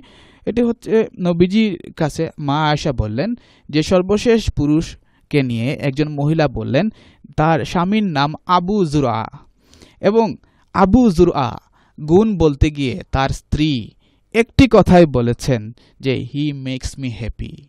অর্থাৎ তার, আমার স্বামী আমাকে সব সময় সুখী রাখে। সে যে কোনো ব্যাপারে হোক। সে স্বাদ আহ্লাদের ব্যাপারে হোক খাবার দাবারের ব্যাপারে হোক, সহায় সম্পত্তির ব্যাপারে হোক, অর্থাৎ ইন টোটাল যদি বলা যায় যে একজন নারীকে সন্তুষ্ট করার সব উপকরণ আবু জুর আর রয়েছে। তার সম্পদ রয়েছে, সে আমার পিছনে অসংখ্য যা চাই তা পাই এবং সুজা কথায় না দিলেও আমাকে সে খুশি রাখে। সে একটা প্রপার এক্সপ্লেনেশন দিতে পারে যে আপনার বউ আপনাকে চাইলো, এই আমার জন্য এই চাই। আপনি বললে, আপনি সাথে সাথে কিন্তু না করবেন না। বউ চাইলো একটা শাড়ি দাও, না করবেন। আপনি বললেন হ্যাঁ দেবো। তুমি আমার একটা বউ, দশটা না, পাঁচটা না, একটা বউ। দেবো, তোমাকে দেবো না থেকে। আপনাকে যদি বলে, তাজমহল দাও, আপনি বলবেন, ইয়েস। বউকে সব সময় বলতে হবে। আপনি বলে সে যদি বলে সান দেও। সান ইয়েস, দেবো। তোমার দেবো না সান দেবো না তোমারেও তো দেবো। তো ওই সময় কিন্তু ইয়েস বলতে হবে যে সময় চাইবে, ইয়েস বলবেন কিছুদিন যাক তাজমহল তো তোমাকে দিতে চাই। দুই, তিন দিন পরে বলেন যে, তুমি আমার একটা মাত্র বউ। তাজমহল তো তোমাকে দিতে চাই। কিন্তু দেখো, আমার যে টাকা পয়সা এটা তাজমহল তৈরি করতে গেলে বিশ বছর লাগবে। বাইশ বাইশ হাজার মানুষ লাগবে। বাইশ হাজার মানুষের খাবার খরচ আছে। তাজমহলের জন্য তেষট্টি একর জমি লাগবে। এবং এগুলো কোনো ব্যাপার না ম্যানেজ করে নিলাম কোনোভাবে সহায় সম্পত্তি বিক্রি করে। কিন্তু ডার্লিং সবচেয়ে ডেঞ্জারাস যে জিনিসটি হচ্ছে, সেটি হচ্ছে যে তাজমহলে তাজমহলের জন্য তোমাকে মরতে হবে। কারণটা হচ্ছে যে মমতাজ তো তাজমহলের জন্য মমতাজ তো জীবিত ছিলেন না। মরা মমতাজের জন্য তাজমহল বানাইতে। তো আমি এত বড় রিস্ক নেই কেমনে? তখন বউ বলবে, না না না না, ঠিক আছে। মরলে আবার যদি তুমি বিয়ে করে ফেলো মাথা তো ঠিক থাকবে না। তুমি মারা গেলে আমি পাগল হয়ে যাব এবং পাগল যে কোনো কিছু করে ফেলতে পারে। তো দরকার নাই, এটা প্রয়োজন নাই, এটা এমনি বলছিলাম আর কি। ঠিক আছে। আচ্ছা ঠিক আছে, এমনি বলছো, ঠিক আছে। তো এরকম কেন? কারণ পরে বোঝাবেন যে আমাদের আমাদের স্ত্রীরা কিন্তু অনেক সময় ভাবির ফিন্ন দেখিয়া শাড়ি আপনাকে বলে। অনেক সময় আপনার ইনকাম অত বেশি নাই, কিন্তু ভাবি মেয়েরা কিন্তু দেখে প্রভাব চোখ দিয়ে তারা কিনে অনেক সময়, দেখে প্রভাবিত হয়। ওই দেখছ নি, থান মার্সিডিস বেঞ্জ আছে আমরা কুটিমুটি মাইক্রা একটা। কিছু করতে পারে না। সমান পয়সা হতো তুমি পাও। কিন্তু আসলে তাকে দেখেন যে সে সে হতে পারে ড্রাগ করছে ড্রাগ বিজনেস করতেছে, হারাম পথে আছে, আপনি হালাল পথে আছেন। আস্তে আস্তে বুঝান। তিন দিন পরে গিয়ে বুঝান। চার দিন পরে গিয়ে বুঝান। সে বুঝবে। তো আমরা আজকে দেখলাম যে নবীজি শুনলেন। যে কত সুন্দরভাবে কিন্তু নবীজি শুনলেন। এই যে শোনার ক্যাপাবিলিটা শোনার কোয়ালিটিটাকে ডেভেলপ করতে হবে। আমাদের ছোট্ট একটি বিরতি নেওয়ার সময় চলে এসেছে চলে এসেছে। আমরা বিরতির পর চলে আসব এবং তখন একটি অনুভূতিময় একটি সময়ে প্রবেশ করব। তখন দেখব যে আমরা আমাদেরকে সন্তানদেরকে শুনতে হবে, আমাদেরকে স্ত্রীদেরকে শুনতে হবে এবং আমাদের বাবা মাকে শুনতে হবে। এই রিলেশনশিপগুলো কিন্তু সবচেয়ে বেশি টেনশন ক্রিয়েট করে ইন লসদেরকে কিন্তু শুনতে হবে যে আপনার সমস্যাটা কোন জায়গায়? সমস্যা হইতেছে ওই যে বিগ বাবল তৈরি করি আমরা। একটা বাবলের ভিতরে ঢুকে যাই শুনতে চাই না। তো আমরা বিরতির পর যখন আসব তখন আমরা মানে সন্তানকে শুনলে যে কি আনন্দ স্ত্রীকে শুনলে যে কি আনন্দ বাবা মাকে শুনলে যে কি আনন্দ। আমরা বুড়ো বাবা মাকে শুনি না। হ্যাঁ, শুনলে যে কত ইনফরমেশন পাওয়া যায় কত ভুল থেকে দূরে থাকা যায় এটি আমরা দেখব। ছোট্ট একটি বিরতির পর আবার কথা হচ্ছে ইনশাল্লাহ আসসালামু আলাইকুম রহমতুল্লাহ বারাকাত হ্যালো তুমি কই? আমার গাড়ি টায়ার বার গেছে গিয়া। যাইব তো সিটি টায়ার থাকি টায়ার লাগাইছাইনি সিটি টায়ারটা খুলগানো লন্ডন সিটি থাকো আর সিটি টায়ার ছিল না। শুনো তারা ঠিকানা number two railway arches Malcolm place London E two O U তারা টেলিফোন নম্বর কিতা? Zero two zero eight nine eight one zero seven zero six তারা কিতা কিতা করো? তারা এক্সপার্ট ইঞ্জিনিয়ার দিয়া মেকানিক্যাল খাম করাইন বডি ওয়ার্ক আর এমটি করাইন। বুঝছ নি? বালা ওরি বুঝছি কিতাবা মুখরে আবার ম্যাপ বানায় রাখিছুন আরে মাতিও না। তুমি তার ফ্রেন্ড বন্ধু কোনো কামন নাই। একটা বাড়ি দিছি ভাইয়ে। দুষ মারি দিছো? কিতা দি দুষ মারি দিছো? কিতা দিয়ে আবার? গাড়ি দিয়ে দুষ মারছি। এখন বুঝিয়ান না কিলান কিতা করতাম। তুমি রে ভাই আজকে পনেরো বছর ধরে লন্ডন আসো আর ও গু বুঝায় না। আমার দেখছ নি কোনদিন গাড়ি লোকে টেনশন করতে? কিচ্ছু হইলে আমি লগালগ মোটো ক্লেমে ফোন করি তারা লগালগ রিপ্লেসমেন্ট গাড়ি দিন আর আমি লগালগ খামা যাই। মোটু ক্লেম লগালগ নম্বরটা দেও। লগালগ বুড়াও zero two zero eight three six four seven three nine two আর নাহলে তার ওয়েবসাইটও দেখো moto claim dot co dot UK আসসালামু আলাইকুম রহমতুল্লাহ বারকাত ছোট্ট একটি বিরতির পর আমরা ফিরে আসলাম। আমরা কথা বলছিলাম শোনার ব্যাপারে। নবীজি শুনতেন। নবীজি শুনতেন বেশি, বলতেন কম। এবং আপনি আমাদের যে কোনো প্রকার রিলেশনশিপে যা আমরা যদি শুনতে পারি সব সময় মনে রাখবেন যে কাবাডি খেলায় যে একটি মানুষ কখন দুর্বল হয়। কাবাডি খেলায় দেখবেন যে আসলে মানে ছি দেয় যেটা ছি দেয় দিক দিক দিক দিক করে যে একটা কোর্টে আসে। তো যখনই কোনো মানুষ আপনার সামনে কথা বলবে, সে আপনার কোর্টে চলে আসবে। সে দুর্বল হয়ে যাবে। কাউকে যদি দুর্বল করতে চান, কাউকে যদি তার ভেতরের কথা যদি শুনতে চান, তার তার তার সমস্যার কিন্তু সমাধান আপনি করতে পারবেন না। একটি জিনিস মনে রাখবেন, যে কোনো মানুষের সমস্যার সমাধান প্রত্যেকটি মানুষের কথার পেছনে লুকিয়ে থাকে। সুতরাং তাকে কথা বলতে দিন। যে যে কোনো, আমি আমি দেখেছি যে যারা শুনে না, তারা কোনো সমস্যার সমাধান করতে পারে না। যে কাবাডি খেলাতে, দিক দিক দিক দিক করে আসে এবং এই দিক দিক দিক দিক করতে কিন্তু মানে লোক ওই পক্ষরা ধরে ফেলে যে এই ছি দিতে দিতে তার দম শেষ হয়ে যাবে, এরপরে তাকে ধরে ফেলবে। দম শেষ, তোমার শক্তি নাই। আর যদি সে কথাবার্তাগুলো ঠিক মতো করে, ছিটা ঠিক মতো দিয়ে চলে যায়, আপনাকে যদি বাড়ি মেরে চলে যায়, আপনি শেষ কোর্টে। অর্থাৎ মনে রাখবেন, যারা মানে কথা এমন একটি ব্যাপার, যদি ঠিক মতো ছি দিতে পারেন, আপনি যাকে টাচ করবেন তাকে ফেলে দিতে পারবেন।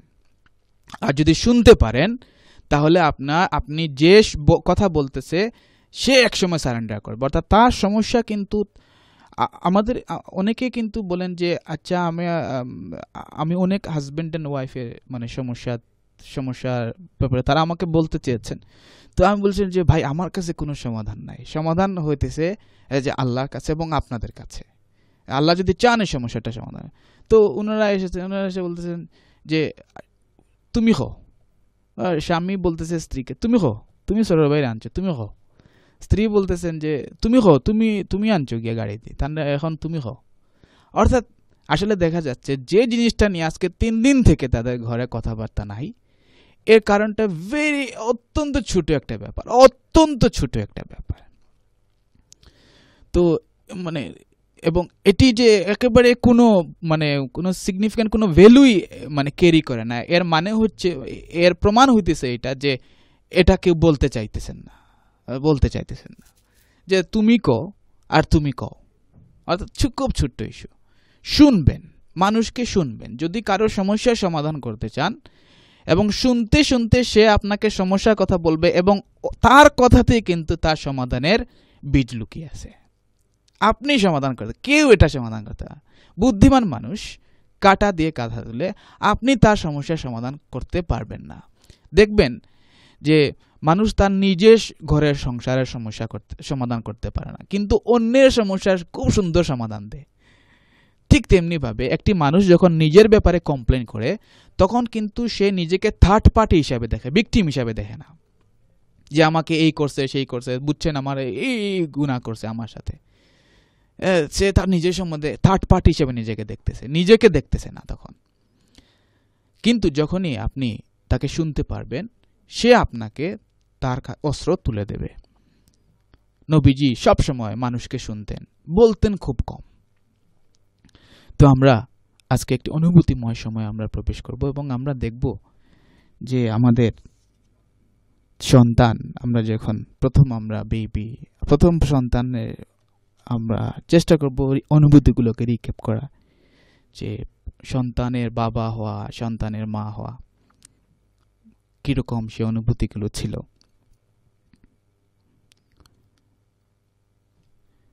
আমাদের আমাদের জীবনে যদি খুব আনন্দময় কিছু অভিজ্ঞতা থেকে থাকে।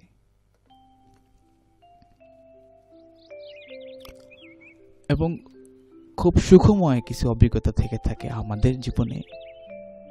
যে কথাগুলো, যে মেসেজটা শুনে আমরা আমাদের শরীরে সমস্ত লোম দাঁড়িয়ে গিয়েছিল এবং যে অনুভূতিগুলো, যে খবরটি শুনে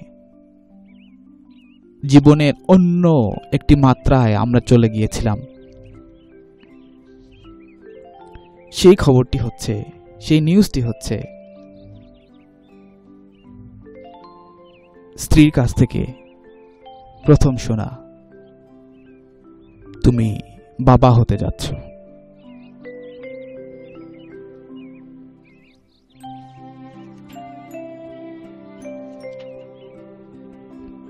আপনি মনে করার চেষ্টা করুন, প্রথম বাবা হওয়ার অনুভূতি।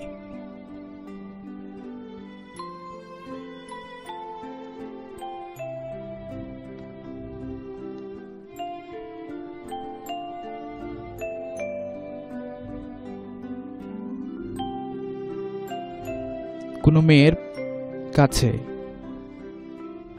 জীবনের সবচেয়ে মধুর খবরটি, মধুর যে জিনিসটি শুনে সবচেয়ে বেশি একটি মা। সবচেয়ে বেশি একটি নারী খুশি হয়। সেই খবরটি হচ্ছে, তার স্বামীর কাছ থেকে শোনা। শুনেছ, তুমি মা হয়েছ।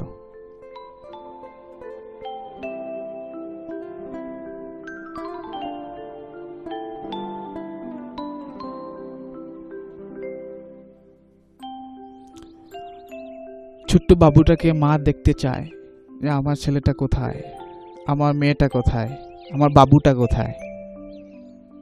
এবং সে তার বাবুটাকে কোলে নেয়। মাকে ছোট্ট বেবি শুনতে পারে, বুঝতে পারে। মায়ের পেটে ছিল সে দশ মাস, দশ দিন।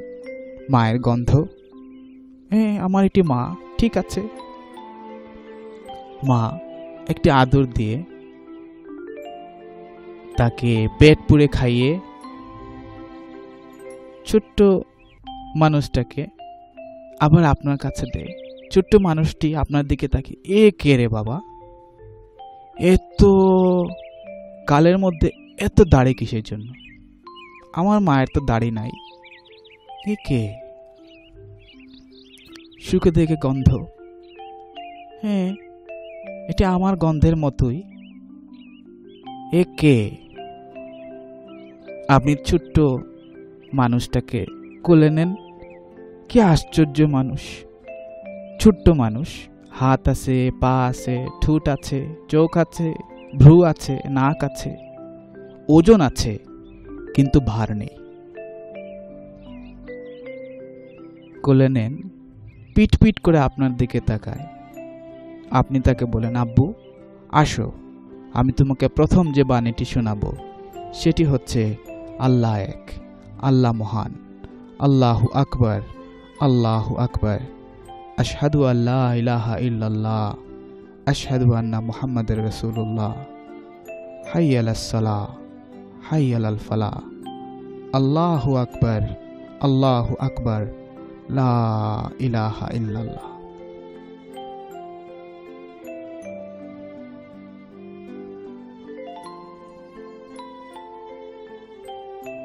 বাবা হিসেবে। প্রথম তোমাকে শোনালাম আমি। আল্লাহ এক, আব্বু আল্লাহ এক।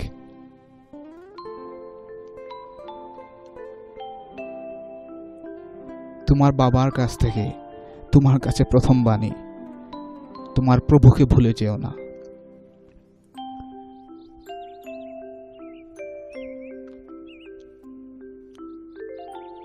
জীবনের প্রতিটি বাঁকে জীবনের প্রতিটি দুঃখ কষ্টে, জীবনের প্রতিটি সুখে তুমি মনে রাখবে তোমার আল্লাহকে।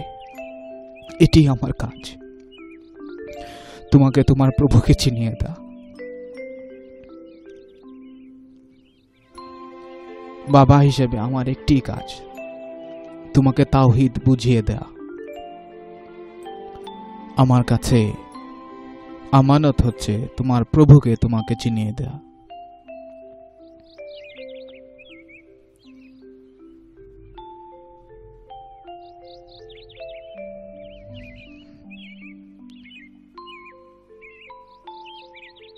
জীবনে সুখ আছে, দুঃখ আছে, প্রাপ্তি আছে, অপ্রাপ্তি আছে, খুশি আছে, আনন্দ আছে, দুঃখ আছে, কষ্ট আছে। তোমাকে জীবনের পথে অনেক দূর হাঁটতে হবে বাবা। কিন্তু জেনে রাখবে একটি জিনিস, আজান পাঁচবার তোমাকে অবশ্যই তোমার প্রভুর কাছে ফিরে আসতে হবে। এবং বাবা হিসেবে এটি আমার কাজ। তোমাকে একটি কথা শিখিয়ে দেয়া আল্লাহু আকবার আল্লাহু আকবার। আশহাদু আল্লাহ ইলাহা ইল্লাল্লাহ, আশহাদু আন্না মোহাম্মদ রসুল্লাহ হাই আল্লাহ সালাহ আসো, নামাজের জন্য আসো। হাই আল্লাহ ফালা, সাফল্যের জন্য আসো। আল্লাহু আকবার আল্লাহু আকবার। আল্লাহ মহান আল্লাহ মহান, আল্লাহ বড় আল্লাহ বড়। লা ইলাহা ইল্লাল্লাহ, তিনি ছাড়া আর কোনো ইলাহ নেই।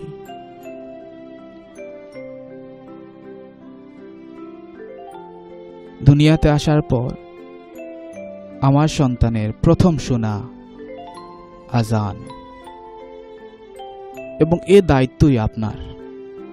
সন্তানকে প্রথম বাণী, আজানের বাণী, আল্লাহ মহানের বাণী তার কানে পৌঁছে দেয়া। শোনার গুরুত্ব শোনার গুরুত্ব শোনার গুরুত্ব।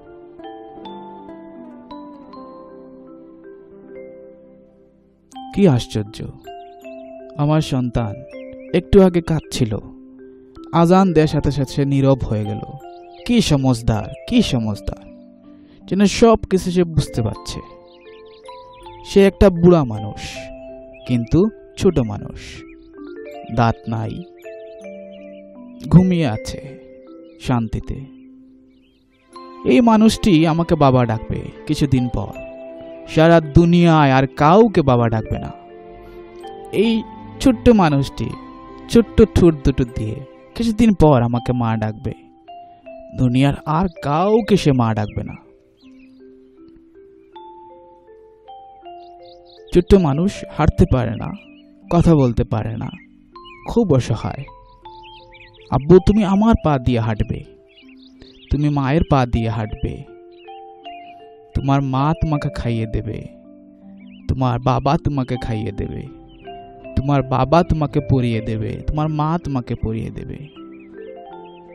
আমাদের হাত হবে তোমার হাত, আমাদের পা হবে তোমার পা, আমাদের দেখা হবে তোমার দৃষ্টি। বাবা, তোমার দৃষ্টি।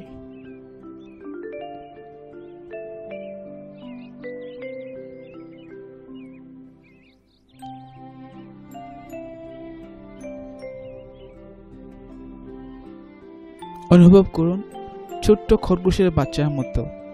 নরম তুলতুলে একটি মানুষ।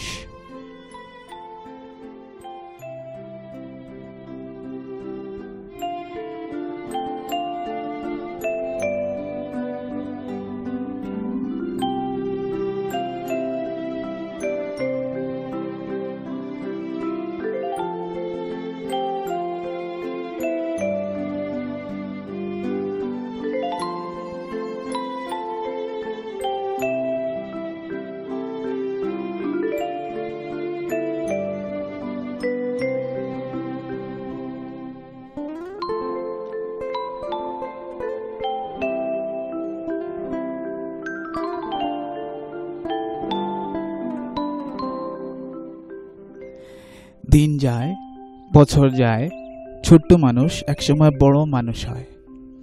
হাঁটতে পারে, কথা বলতে পারে, প্রশ্ন করতে পারে।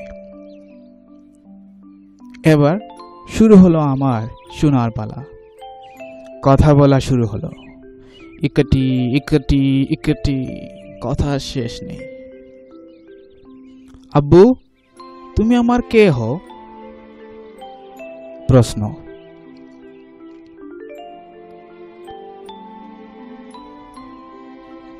সাংঘাতিক? এটা তো কখনো চিন্তা করি নাই, আব্বু। আমি তোমার আব্বু হই, বাবা হই। আচ্ছা ঠিক আছে। তাহলে আব্বু, আমি তোমার কি হই? তুমি আমার বাবা হো তুমি আমার মা। তুমি আমার সন্তান। আচ্ছা ঠিক আছে, বুঝলাম। তুমি আমার বাবা আর আমি তোমার ছেলে। মা তোমার কি হয়? ইয়া মাবুদে এরকম প্রশ্ন তো আমি জীবনেও শুনি নাই। তোমার মা আমার বউ হয়। ঠিক আছে আব্বু, আমার মা যদি তোমার বউ হয়ে থাকে, তাহলে আমি তো তোমার ছেলে। হ্যাঁ তুমি আমার ছেলে। তাহলে আমি তো পুরুষ, তুমিও পুরুষ। হ্যাঁ আমি পুরুষ, তুমিও পুরুষ। তাহলে আমার বউ কই?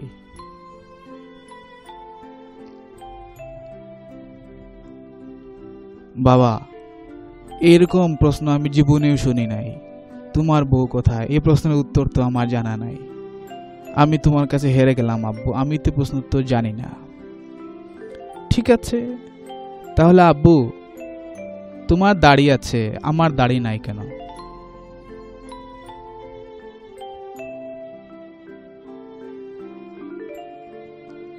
আল্লাহ আমাকে সাহায্য করলেন। আমি বললাম, আব্বু তোমার যখন দাড়ি হবে, তখন তোমার বউ হবে। তুমি চিন্তা করিও না। তাহলে আব্বু, এক্ষুনি চলো। আমি দোকান থেকে এখনই দাড়ি কিনবো। আমার বউ এখনই দরকার।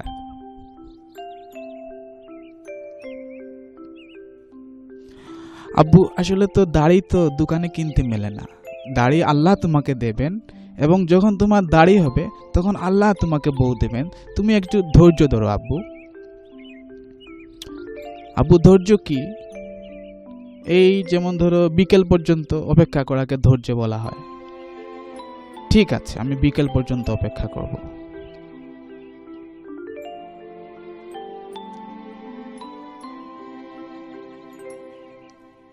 এটি হচ্ছে শোনার কোয়ালিটি, কারণ নবীজি শুনতেন তার নাতিকে।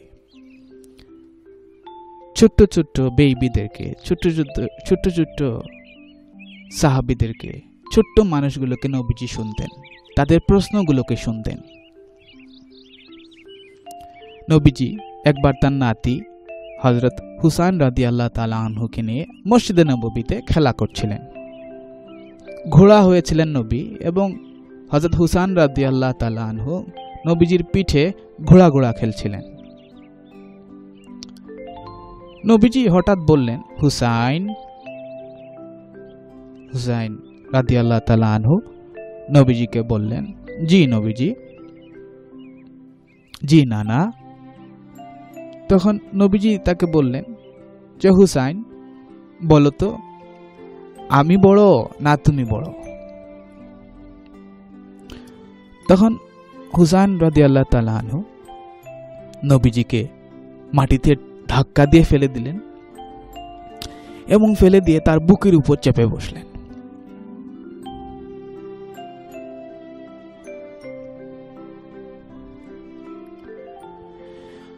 বুকের উপর চেপে বসে বললেন, নবীজি, ইয়া রাসুল্লাহ নানাজি, আমি বড় আপনার চেয়ে। তখন নবীজি বলেন এটা কীভাবে হলো? আমাকে বোঝাও। এবার সোনার পালা।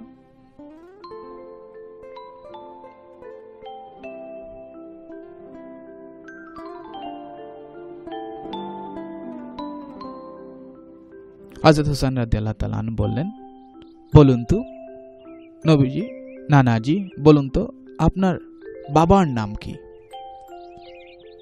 তখন নবীজি বললেন, আমার বাবার নাম আব্দুল্লাহ।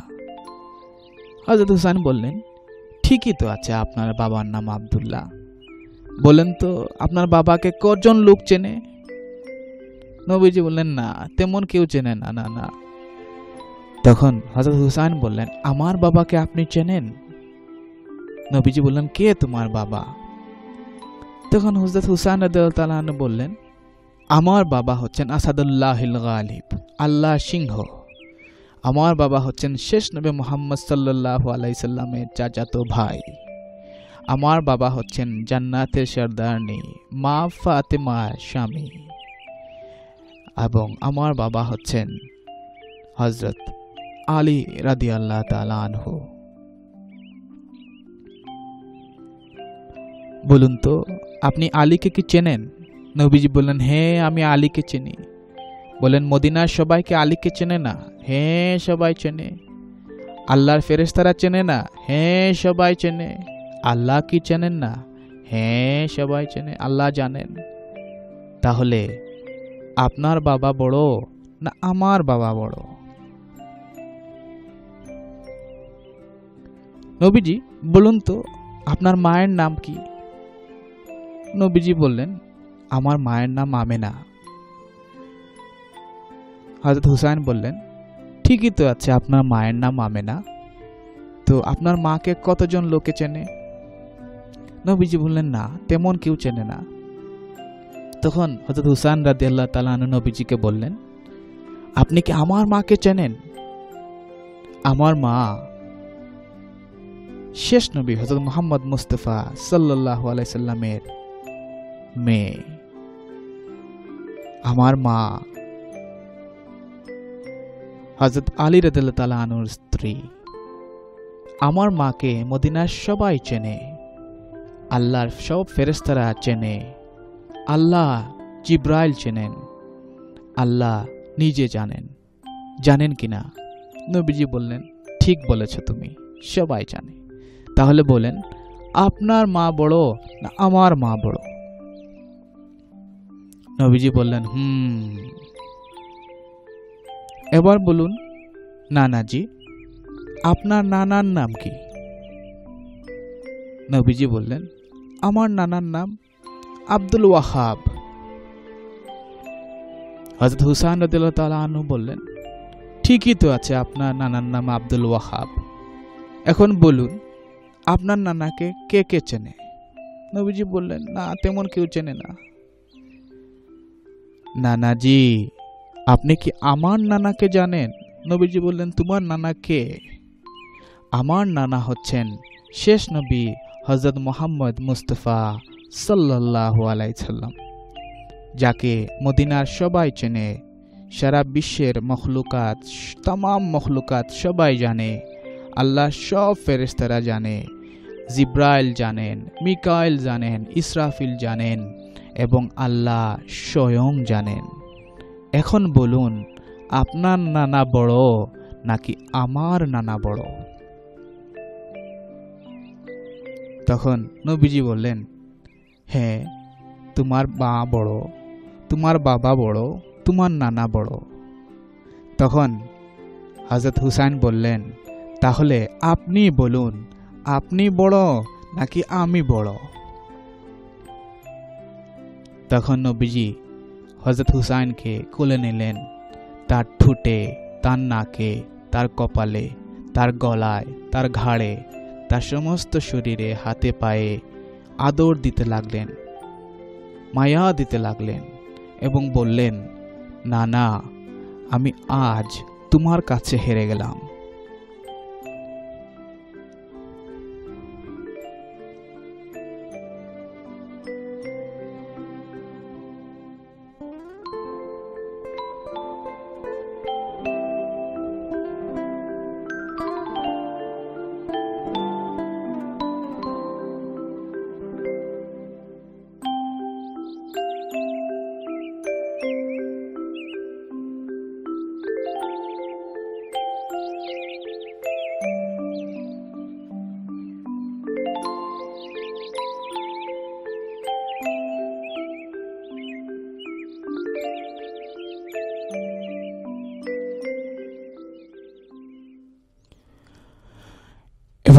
আমাদের শোনার ব্যাপারে, আমাদের বাবা মাকে শোনার ব্যাপারে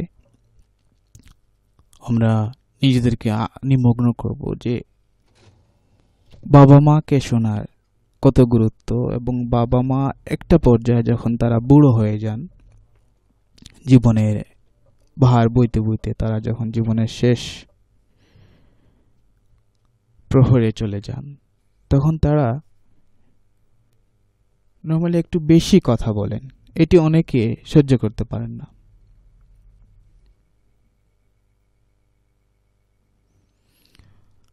আমরা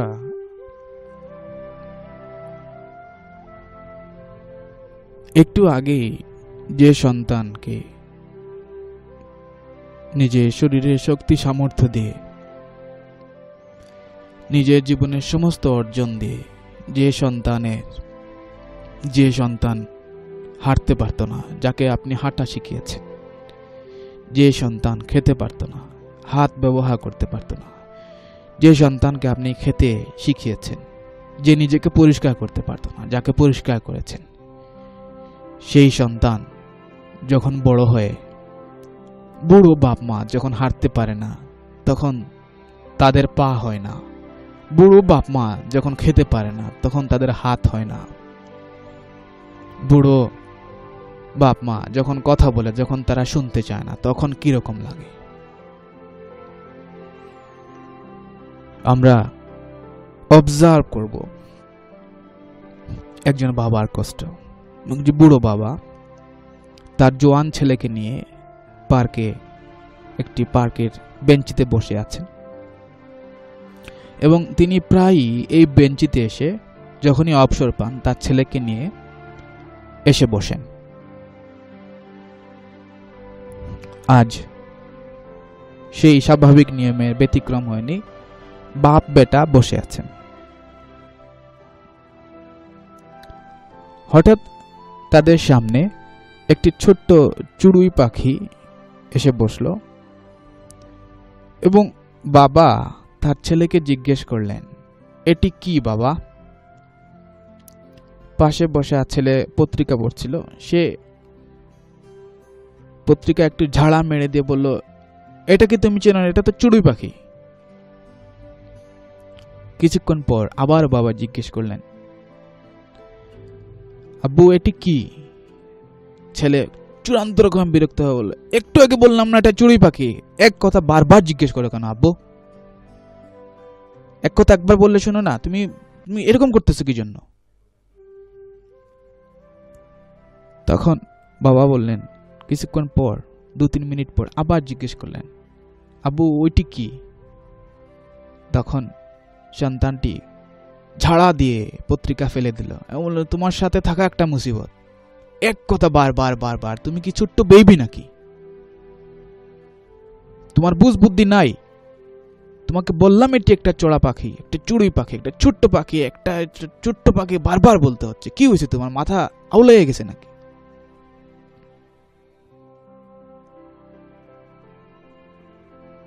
বাবা খুব ব্যথা পেলেন সন্তানের এই রিয়াকশনে যে সন্তান তাকে শুনল না। ব্যথায়, কষ্টে তার চোখ থেকে দু ফোঁটা পানি ঝরে পড়ল। ছেলের সন্তানের ঝাড়ি খেয়ে।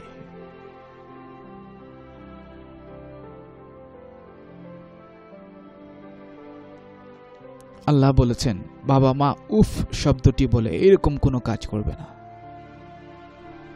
খুব সহজে তারা ব্যথা পেয়ে যান খুব সহজে তারা ব্যথা পেয়ে যান।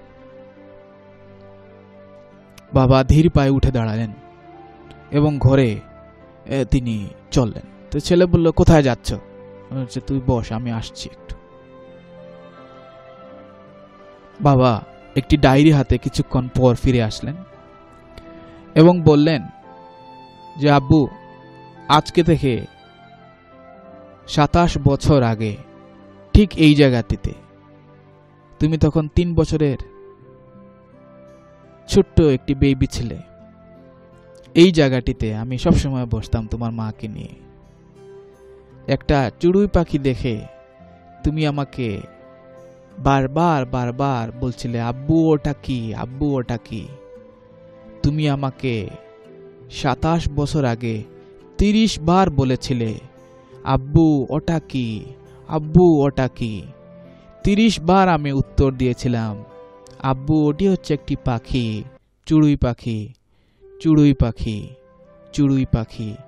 একবারও বিরক্ত হইনি, প্রত্যেকবার তোমাকে গালে, ঠুটে, নাকে, কপালে আমি আদর দিয়েছি এবং বলেছি ওটি একটি চুড়ুই পাখি। আজকে বাবা ধন, তুমি আমাকে তিনটি বারও বলতে পারলে না যে বাবা, এটি একটি চড়ুই পাখি। একটি বারও তুমি আমাকে আদর করে বললে না যে বাবা, এটি চড়ুই পাখি। যখন তুমি ত্রিশ বার প্রশ্ন করেছিলে, আমি বিরক্ত হইনি। আমি একবার প্রশ্ন করলাম, তুমি এত বিরক্ত এত বিরক্ত কেন হলে? ফিল করুন, অনুভব করুন, না শুনতে পারার কত দুঃখ। কেউ যদি না শুনে আপনাকে তার কত কষ্ট।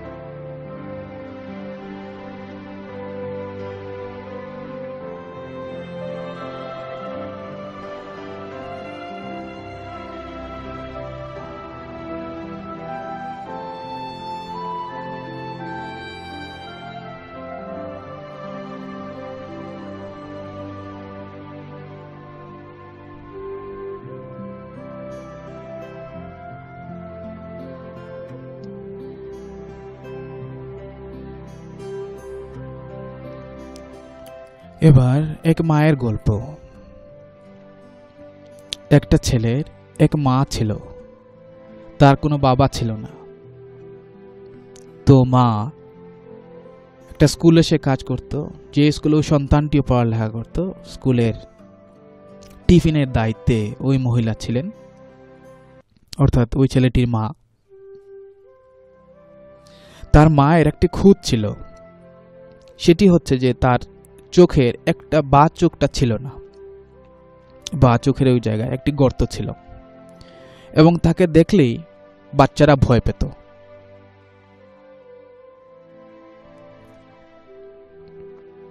তো যখনই স্কুলের টিফিনের সময় ওই ভদ্র মহিলা যখন খাবার নিয়ে আসতেন, তখন মানে বাচ্চারা খুব ভয় পেত এবং বাচ্চারা সবসময় বলতো, এই তোমার মা এত কুৎসিত, তোমার মাকে দেখ- দেখলেই ভয় লাগে। ছেলেটি খুব বেশি এম্বারেসড হতো যে তার মা দেখতে এত কুচ্ছিত, এত কালো, এত মানে একটা খুঁত রয়েছে, চোখের মধ্যে গর্ত। সে তার মাকে ভালোবাসতো না। সে আল্লাহকে কমপ্লেন করতো, হে আল্লাহ, তুমি এমন মা, তুমি আমাকে কেন দিলে যে মাকে, যাই মায়ের জন্য আমি সমাজে মুখ দেখাতে পারি না, স্কুলে আমি মুখ দেখাতে পারি না? মা কিছু বলে না। মা নীরবে নিভৃতে, শুধু সন্তানের কষ্ট, সন্তানের গালিগালা শুনেই থাকে যে তুমি কেন কেন আল্লাহ আমাকে তোমার ঘরে জন্ম দিল? তুমি মর- তুমি আসিও না আমার সামনে। মা, তার সন্তানের সামনে আসে না। খাবার দে এবং লুকিয়ে লুকিয়ে কাঁদে। সন্তান বড় হয়, লেখাপড়া পড়ে অনেক বড় হয় এবং সে লেখাপড়া করার জন্য বিদেশে চলে যায়। তার মাকে না বলে একদিন। এবং তার মাকে এত ঘৃণা করতো যে সে কোনো খোঁজই নিল না তার মার। বিদেশ থেকে অনেক বড় ডিগ্রি নিয়ে সে দেশে ফিরে আসলো। এবং দেশে ফিরে আসার পর অনেক বড় চাকরিতে সে নিজেকে জয়েন করল এবং সে অনেক প্রভাব প্রতিপত্তির মালিক হলো, বিয়ে করল এবং বিয়েতেও সে তার মাকে দাবাত করল না। কারণ তার মা দরিদ্র, তার মা দেখতে কুৎসিত, তার মা অন্ধ কালা এই মাকে সমাজে প্রেজেন্টেশন করার মতো, সমাজে পরিচয় দেওয়ার মতো কোনো মা নয়। এবং এই মায়ের সাথে সম্পর্ক যত দূরে রাখা যায়, ততই ভালো। একদিন সে সন্তানের বাবা হলো, দুটো সন্তান হলো তার। এবং তারা বড় হলো, একটার বয়স সাত, একটার বয়স পাঁচ। হঠাৎ একদিন তার ঘরে দরজায় একটি ফকিরের মতো একটি মানুষ দেখা গেল এবং সে দাঁড়িয়ে আছে। তার সন্তানের দিকে ঠা চোখে তাকিয়ে আছে এবং সে ওই বৃদ্ধ মহিলার দিকে তাকিয়ে সে বুঝতে পারল, এটি তার মা। তার নাতি নাতনিদেরকে দেখতে এসেছেন। ওই ছেলেটি খুব রাগতভাবে এগিয়ে এলো এবং এসে বলল, তুমি এখনও মরো নাই? তুমি এখন কেন আসছো? তোমাকে তোমার এক চোখায় এই অবস্থা দেখে আমার সন্তানরা ভয় পাচ্ছে। আমার সন্তানরা তোমাকে ভালো পায় না, তোমার বউ তোমাকে ভালো পায় না, আমার স্ত্রী থাকবে না তোমার জন্য। তুমি যদি আমার সংসারে আসো, তুমি কেন এসেছ? তুমি চলে যাও। আমার সন্তানরা ভয় পাচ্ছে।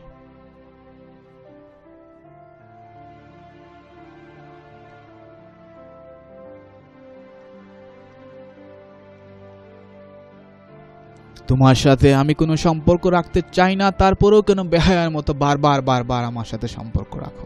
তুমি চলে যাও, আমার চোখের সামনে তুমি আসিও না। মা, তার নাতিন নাতনিদেরকে বললেন যে আমি একটু তাদের মাথায় হাত বুলিয়ে দিয়ে যাই। না, তুমি চলে যাও।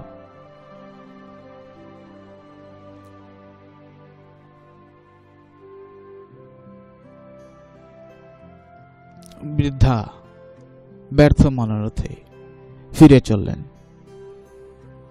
বছর খানেক পর ওই ছেলেটির ছোট্টবেলার স্কুলে রিউনিয়ন হলো, যে স্কুল থেকে যারা পড়েছিলেন, এখন সমাজে যারা প্রতিষ্ঠিত, তাদেরকে সংবর্ধনা দেওয়া হবে। এবং সে তার ছোট্টবেলার স্কুলে গেল। স্কুলের প্রোগ্রাম শেষে ফাংশন শেষ হওয়ার পর। প্রোগ্রাম শেষ হওয়ার পর পার্টি শেষ হওয়ার পর স্কুলের টিফিনে একজন বুড়ো ভদ্রলোক, টিফিন ডিপার্টমেন্টের একজন বুড়ো, খুব বুড়ো ভদ্রলোক এগিয়ে আসলেন এবং তার একটি চিঠি তার কাছে দিলেন যে, এটি তোমার মায়ের চিঠি এবং তুমি শুনে খুব আশ্বস্ত হবে। তোমার মা এক মাস আগে মারা গেছেন।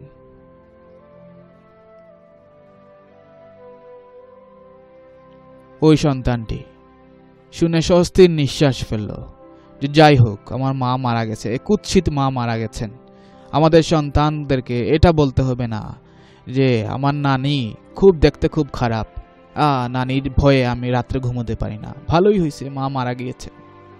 তো চিঠি কিসের জন্য? বলে, এই চিঠিটা তোমার মা তোমাকে দিতে বলেছে সে চিঠিটি খুলল এবং চিঠিটিতে লেখা রয়েছে তার মা তাকে বলে গিয়েছেন যে, বাবা, তুমি যখন জন্মগ্রহণ করেছিলে, জন্মের সময় তোমার একটি চোখ নষ্ট ছিল। তোমার চোখ নষ্ট ছিল এবং তুমি এক চোখ দিয়ে দেখতে এবং আরেক চোখ দিয়ে তুমি দেখতে না। তোমার চোখটা একটা আঙ্গুরের মতো ফুলে গিয়েছিল। দেখতে খুবই খারাপ লাগতো। যেই তোমাকে দেখতো, তোমাকে অশুভ বাচ্চা বলে গালি দিত, যেটা মানুষের বাচ্চা নয় বলে গালি দিত। তোমাকে দেখতে খুব বিচ্ছিরি এবং কদাকার লাগতো। আমি এটি সহ্য করতে পারিনি। তোমার বয়স যখন সাত বছর হয়, পাঁচ বছর হয়, তখন একটি অপারেশনের মাধ্যমে আমি আমার চোখটি তোমার চোখে দিয়ে দিয়েছিলাম। এবং তোমার চোখটি ডাক্তার ফেলে দিয়েছিল। আমি অন্ধত্বকে কবুল করেছিলাম, তোমাকে পৃথিবী দেখার সুযোগ করে দিয়েছিলাম। তুমি যে চোখ দিয়ে তাকাচ্ছ, সেটি আমার চোখ, আর যে চোখহীনতার কারণে আমাকে বিবৎস কদাকার এবং দূরে ঠেলে দিয়েছ, সেই কুৎসিত কদাকার চোখ আমার ছিল। আমি তোমার শান্তির জন্য তোমার সাফল্যের জন্য, তোমার সুখের জন্য। আমি আমার সৌন্দর্য, আমি আমার সাফল্য, আমি আমার পৃথিবী, আমি আমার সৌন্দর্য বিসর্জন দিয়েছিলাম।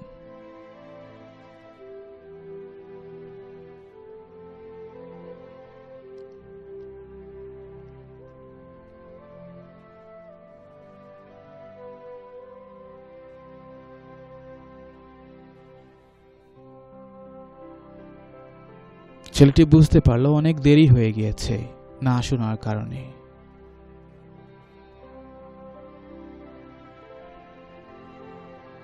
না শোনার কারণে, মানুষকে না শুনতে পারার কারণে, বাবাকে না শোনার কারণে, মাকে না শোনার কারণে, আমরা আমাদের জীবনের, জীবনে টেনশন জেনারেট করি, জীবনে অশান্তি জেনারেট করি, এবং দায়ী করি দায়ী করি আশেপাশের সব কিছুকে দায়ী হচ্ছেন আপনি নিজে।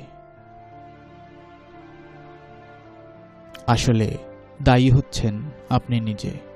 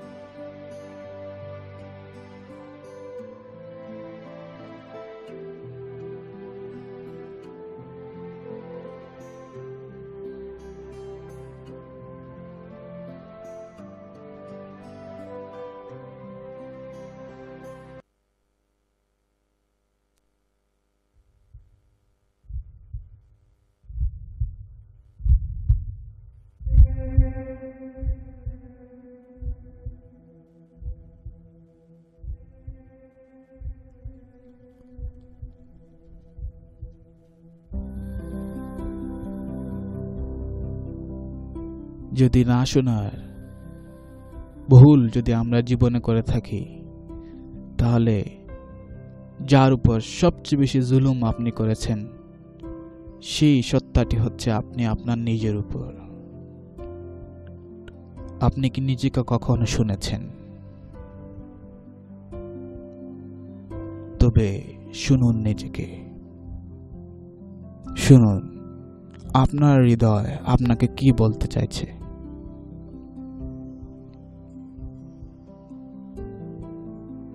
জীবনে যা পেয়েছেন, তাকে বলতে পারেন, এগুলো আমার। কিন্তু কখনো বলতে পারবেন না, এগুলো আমি। জীবনে কখনো গাড়িকে বলতে পারবেন না, এটি আমি। জীবনে বাড়িকে কখনো বলতে পারবেন না, এটি আমি। বাড়িকে, গাড়িকে বলতে পারবেন, এগুলো আমার। কিন্তু কিছু সম্পর্ক রয়েছে যে সম্পর্কগুলোকে বলতে পারবেন। এটি আমি, আমার বাবা আমি, আমার মা আমি, আমার সন্তান আমি। আমরা অনেক কিছু পেতে গিয়ে আমরা অনেক কিছু হারিয়েছি এবং হারাবার লিস্টে প্রথম যে জিনিসটিকে হারিয়েছি সেই জিনিসটি হচ্ছে আমাদের হৃদয়। আমরা আমাদের কলভকে হারিয়ে ফেলেছি। আমাদের হৃদয়কে হারিয়ে ফেলেছি। আমাদের প্রেমকে হারিয়ে ফেলেছি। আমাদেরকে শোনার কানকে আমরা হারিয়ে ফেলেছি। ক্লেম ইট ব্যাক আপনার হৃদয়কে রিক্লেম করুন। রিক্লেম ইউর হার্ট এটি আপনার হার্ট এটি আপনার হৃদয়।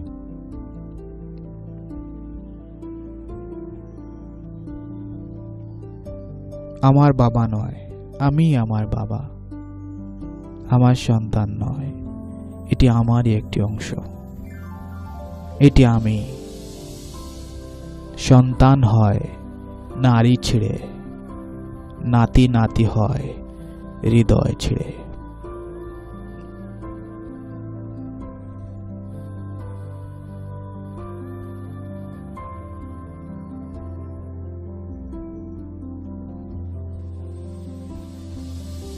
প্রভু হে, আমার ত্যাগ, আমার স্মরণ, আমার কলম, আমার বচন, আমার শক্তি, আমার ধন, আমার মেধা, আমার মনন, আমার জীবন, আমার মরণ, সবই ভালোবেসে তোমায় করছি সমর্পণ।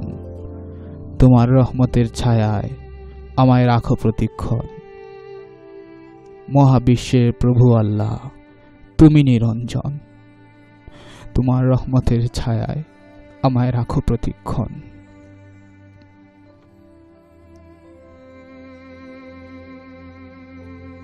প্রভু আমার আমাতে ফিরিয়ে দাও। আমি নিজেকে হারিয়ে ফেলেছি। আমার হৃদয়কে শোনার তৌফিক দাও। আমার হৃদয়কে আমাতে ফিরিয়ে দাও। আমার হৃদয়কে আমাকে শোনার তৌফিক দাও। আমি যাতে নিজেকে শুনতে পারি।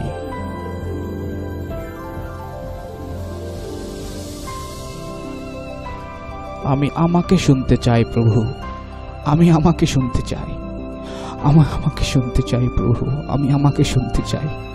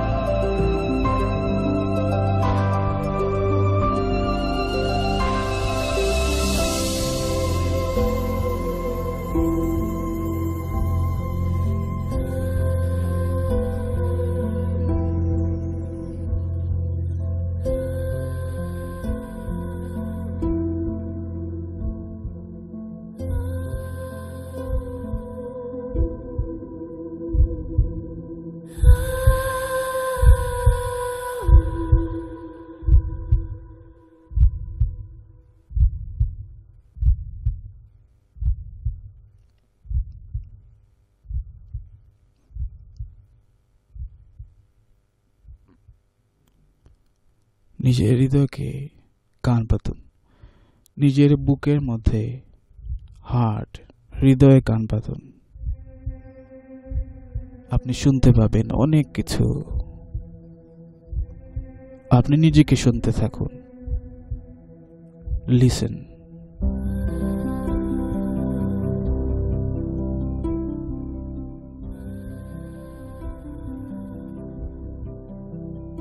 আপনি কখনো নিজেকে শোনেননি? আপনার দুঃখ, আপনার কষ্ট, আপনার আনন্দের এক সরোবর আপনার মাঝেই লুকিয়ে আছে।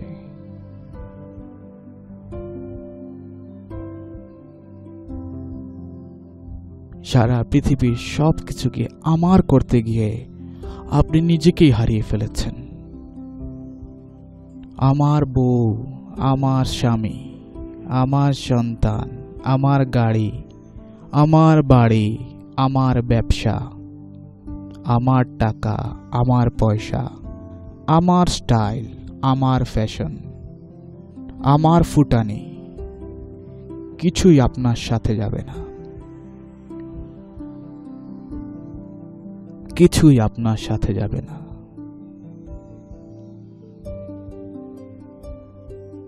আপনি যাকে নিয়ে যাবেন, সেই মানুষটিকে কখনো কি আপনি শুনেছেন?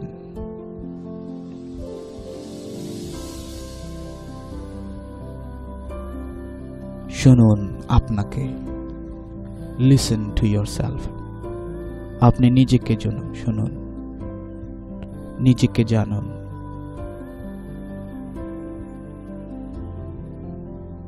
কাকে নিয়ে যাবেন আপনি প্রভুর সামনে? কেউ আপনার সাথে যাবে না।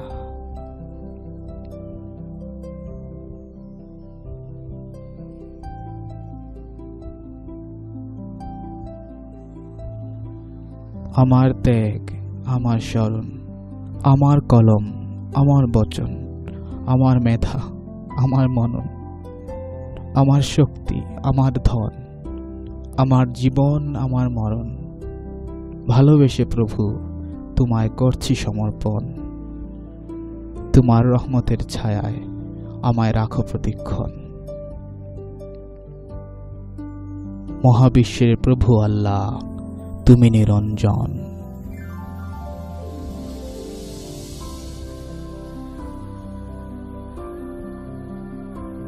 ভালোবেসে তোমায় নিজেকে করছি সমর্পণ।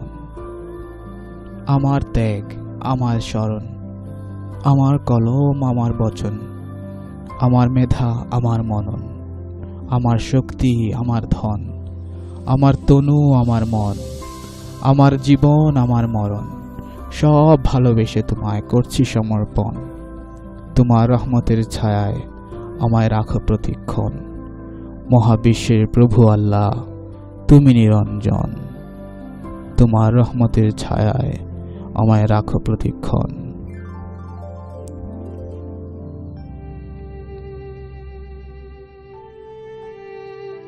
আমার কষ্ট দূর করে দাও প্রভু। আমাকে আমাতে চেনার পথে পরিচালিত করো। সিরাতুল মুস্তাকিমের পথে পরিচালিত করো। আমার মেধাকে বিকশিত করো। দুহাত ভরে মানুষকে দিতে পারার তৌফিক দান করো। আমি পৃথিবীতে দিতে এসেছি। মানুষকে দুহাত ভরে দিয়ে যাওয়ার তৌফিক দান করো।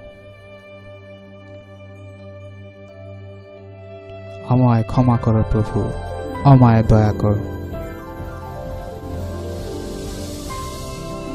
আমার কষ্ট দূর করে দাও, মানুষের কষ্ট দূর করে দাও, মানুষের চোখের পানি বুকের কষ্ট দূর করে দাও। দুঃখ কষ্ট দূর হোক, দুঃখ কষ্ট দূর হোক, আনন্দে ভরে যাক আমার হৃদয়, আনন্দে ভরুক মানুষের হৃদয় প্রভু। আমাদের ক্ষমা করো প্রভু। আমাদের দয়া করো প্রভু। আমাদেরকে ক্ষমা করো প্রভু।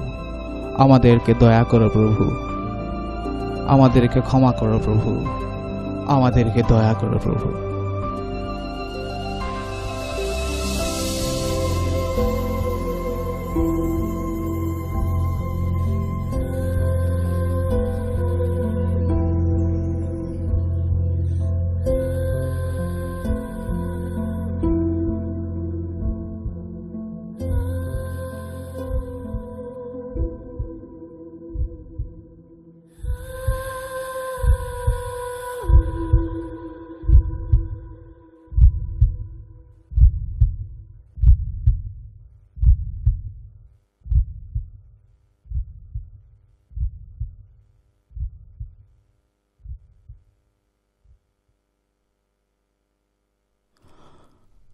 আপনাদেরকে অনেক ধন্যবাদ আমাদের সাথে এতক্ষণ ধরে থাকার জন্য। কত সময়? অনেক পঞ্চাশ মিনিট, দশ সেকেন্ড।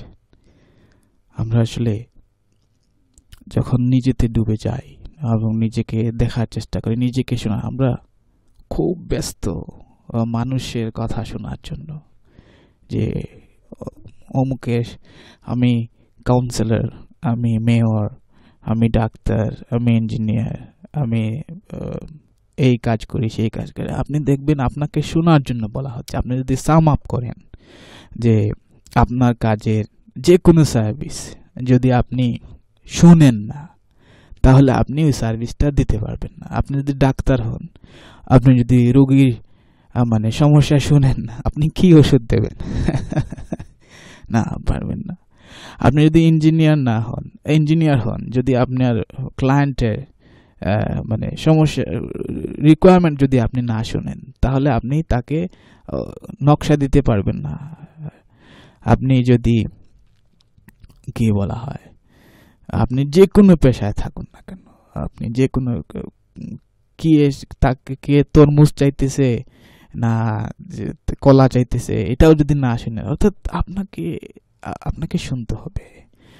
তো সর্ব সবচেয়ে বড় যে গুণ আমাদের টেনশন জেনারেট করে, যদি আপনি না শুনে কোনো কিছু করেন, তা মানুষকে শুনতে হবে। আপনি যদি শুনেন যে অধিকাংশ সময় স্বামী স্ত্রীর যদি সম্পর্কে মানে টানাপোড়ন সৃষ্টি হয় ইন লজ ইন লজ যারা রয়েছেন, তারা আউটল হয়ে যান কখন? যখন আপনি তাদেরকে শোনেন না। যে এর এর কথা শুনানি যায় না। সিলিটি ভাষায় কথা বলে যে এ কথা শোনে না। তো আসলে যদি আপনি শুনেন কথা তাহলে এই সম্পর্ক কখনো টেনশন জেনারেট করবে না এবং বক্তার চেয়ে শ্রোতা বেশি প্রভাবিত করে। মানে আপনি যদি শুনতে পারেন, আপনি সব কিছুকে জয় করতে পারবেন। আপনি যদি শোনেন না, তাহলে সব কিছু আপনাকে জয় করবে। আপনি উল্টা পাল্টা মানে করবেন। আপনি যদি পুলিশের কথা শোনেন না আপনি যদি গভর্নমেন্টের কথা শোনেন না, আপনি যদি সবচেয়ে বড় জিনিস হতে যে, আপনি যদি আল্লাহ এবং রাসুলের কথা শোনেন না, নিজে নিজে যা মনে করেন, এই, এটাই হতেছে আমি আমি যেটা মনে করেছি, এটা আমার ঘর, আমি যেটা ডিসিশন নেব সেটাই। তো আমি এরকম একজনকে দেখেছি যে, তার তিন ছেলে, এক মেয়ে, এবং তার ঘরের মধ্যে যে, আমি যেটা বলব, সেটাই মানে ল সেটাই আইন।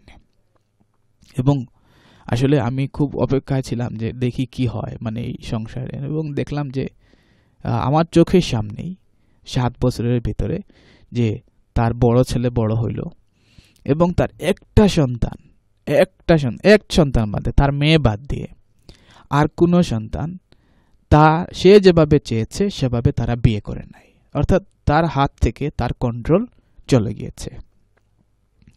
তার মেয়ের যখন আপনাদেরকে বোঝাবার জন্য ব্যাপারটি বলছি, আমি মানে নাম বলি নাই, সুতরাং এটি গিবত হচ্ছে না, ঘটনাটা বলছি।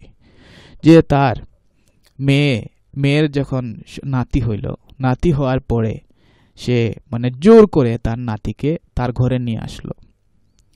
তো ল অফ ন্যাচারাল রিটার্ন জুলুম করার রিজাল্ট মানে তার মেয়ে এবং তার মেয়ের জামাইয়ের মেয়ের জামাইয়ের মতের বিপক্ষে বাচ্চাকে দুদিন পরে হসপিটাল থেকে জোর করে একরকম জোর করে নিয়ে চলে আসলো। তো ল অফ ন্যাচারাল রিটার্ন হলো এটি যে তার দুটো বউয়ের মানে ঘরে বেবি হলো এবং তারা মানে দাদা বাড়িতে তাদের বেবি হয় না তারা নানা বাড়িতে চলে গিয়েছে। এবং উনি তার মানে নাতিদের মুখ দেখেন নাই এক সপ্তাহ পর্যন্ত। এক সপ্তাহ পরে উনি তার নাতিদের মুখ দেখেছেন।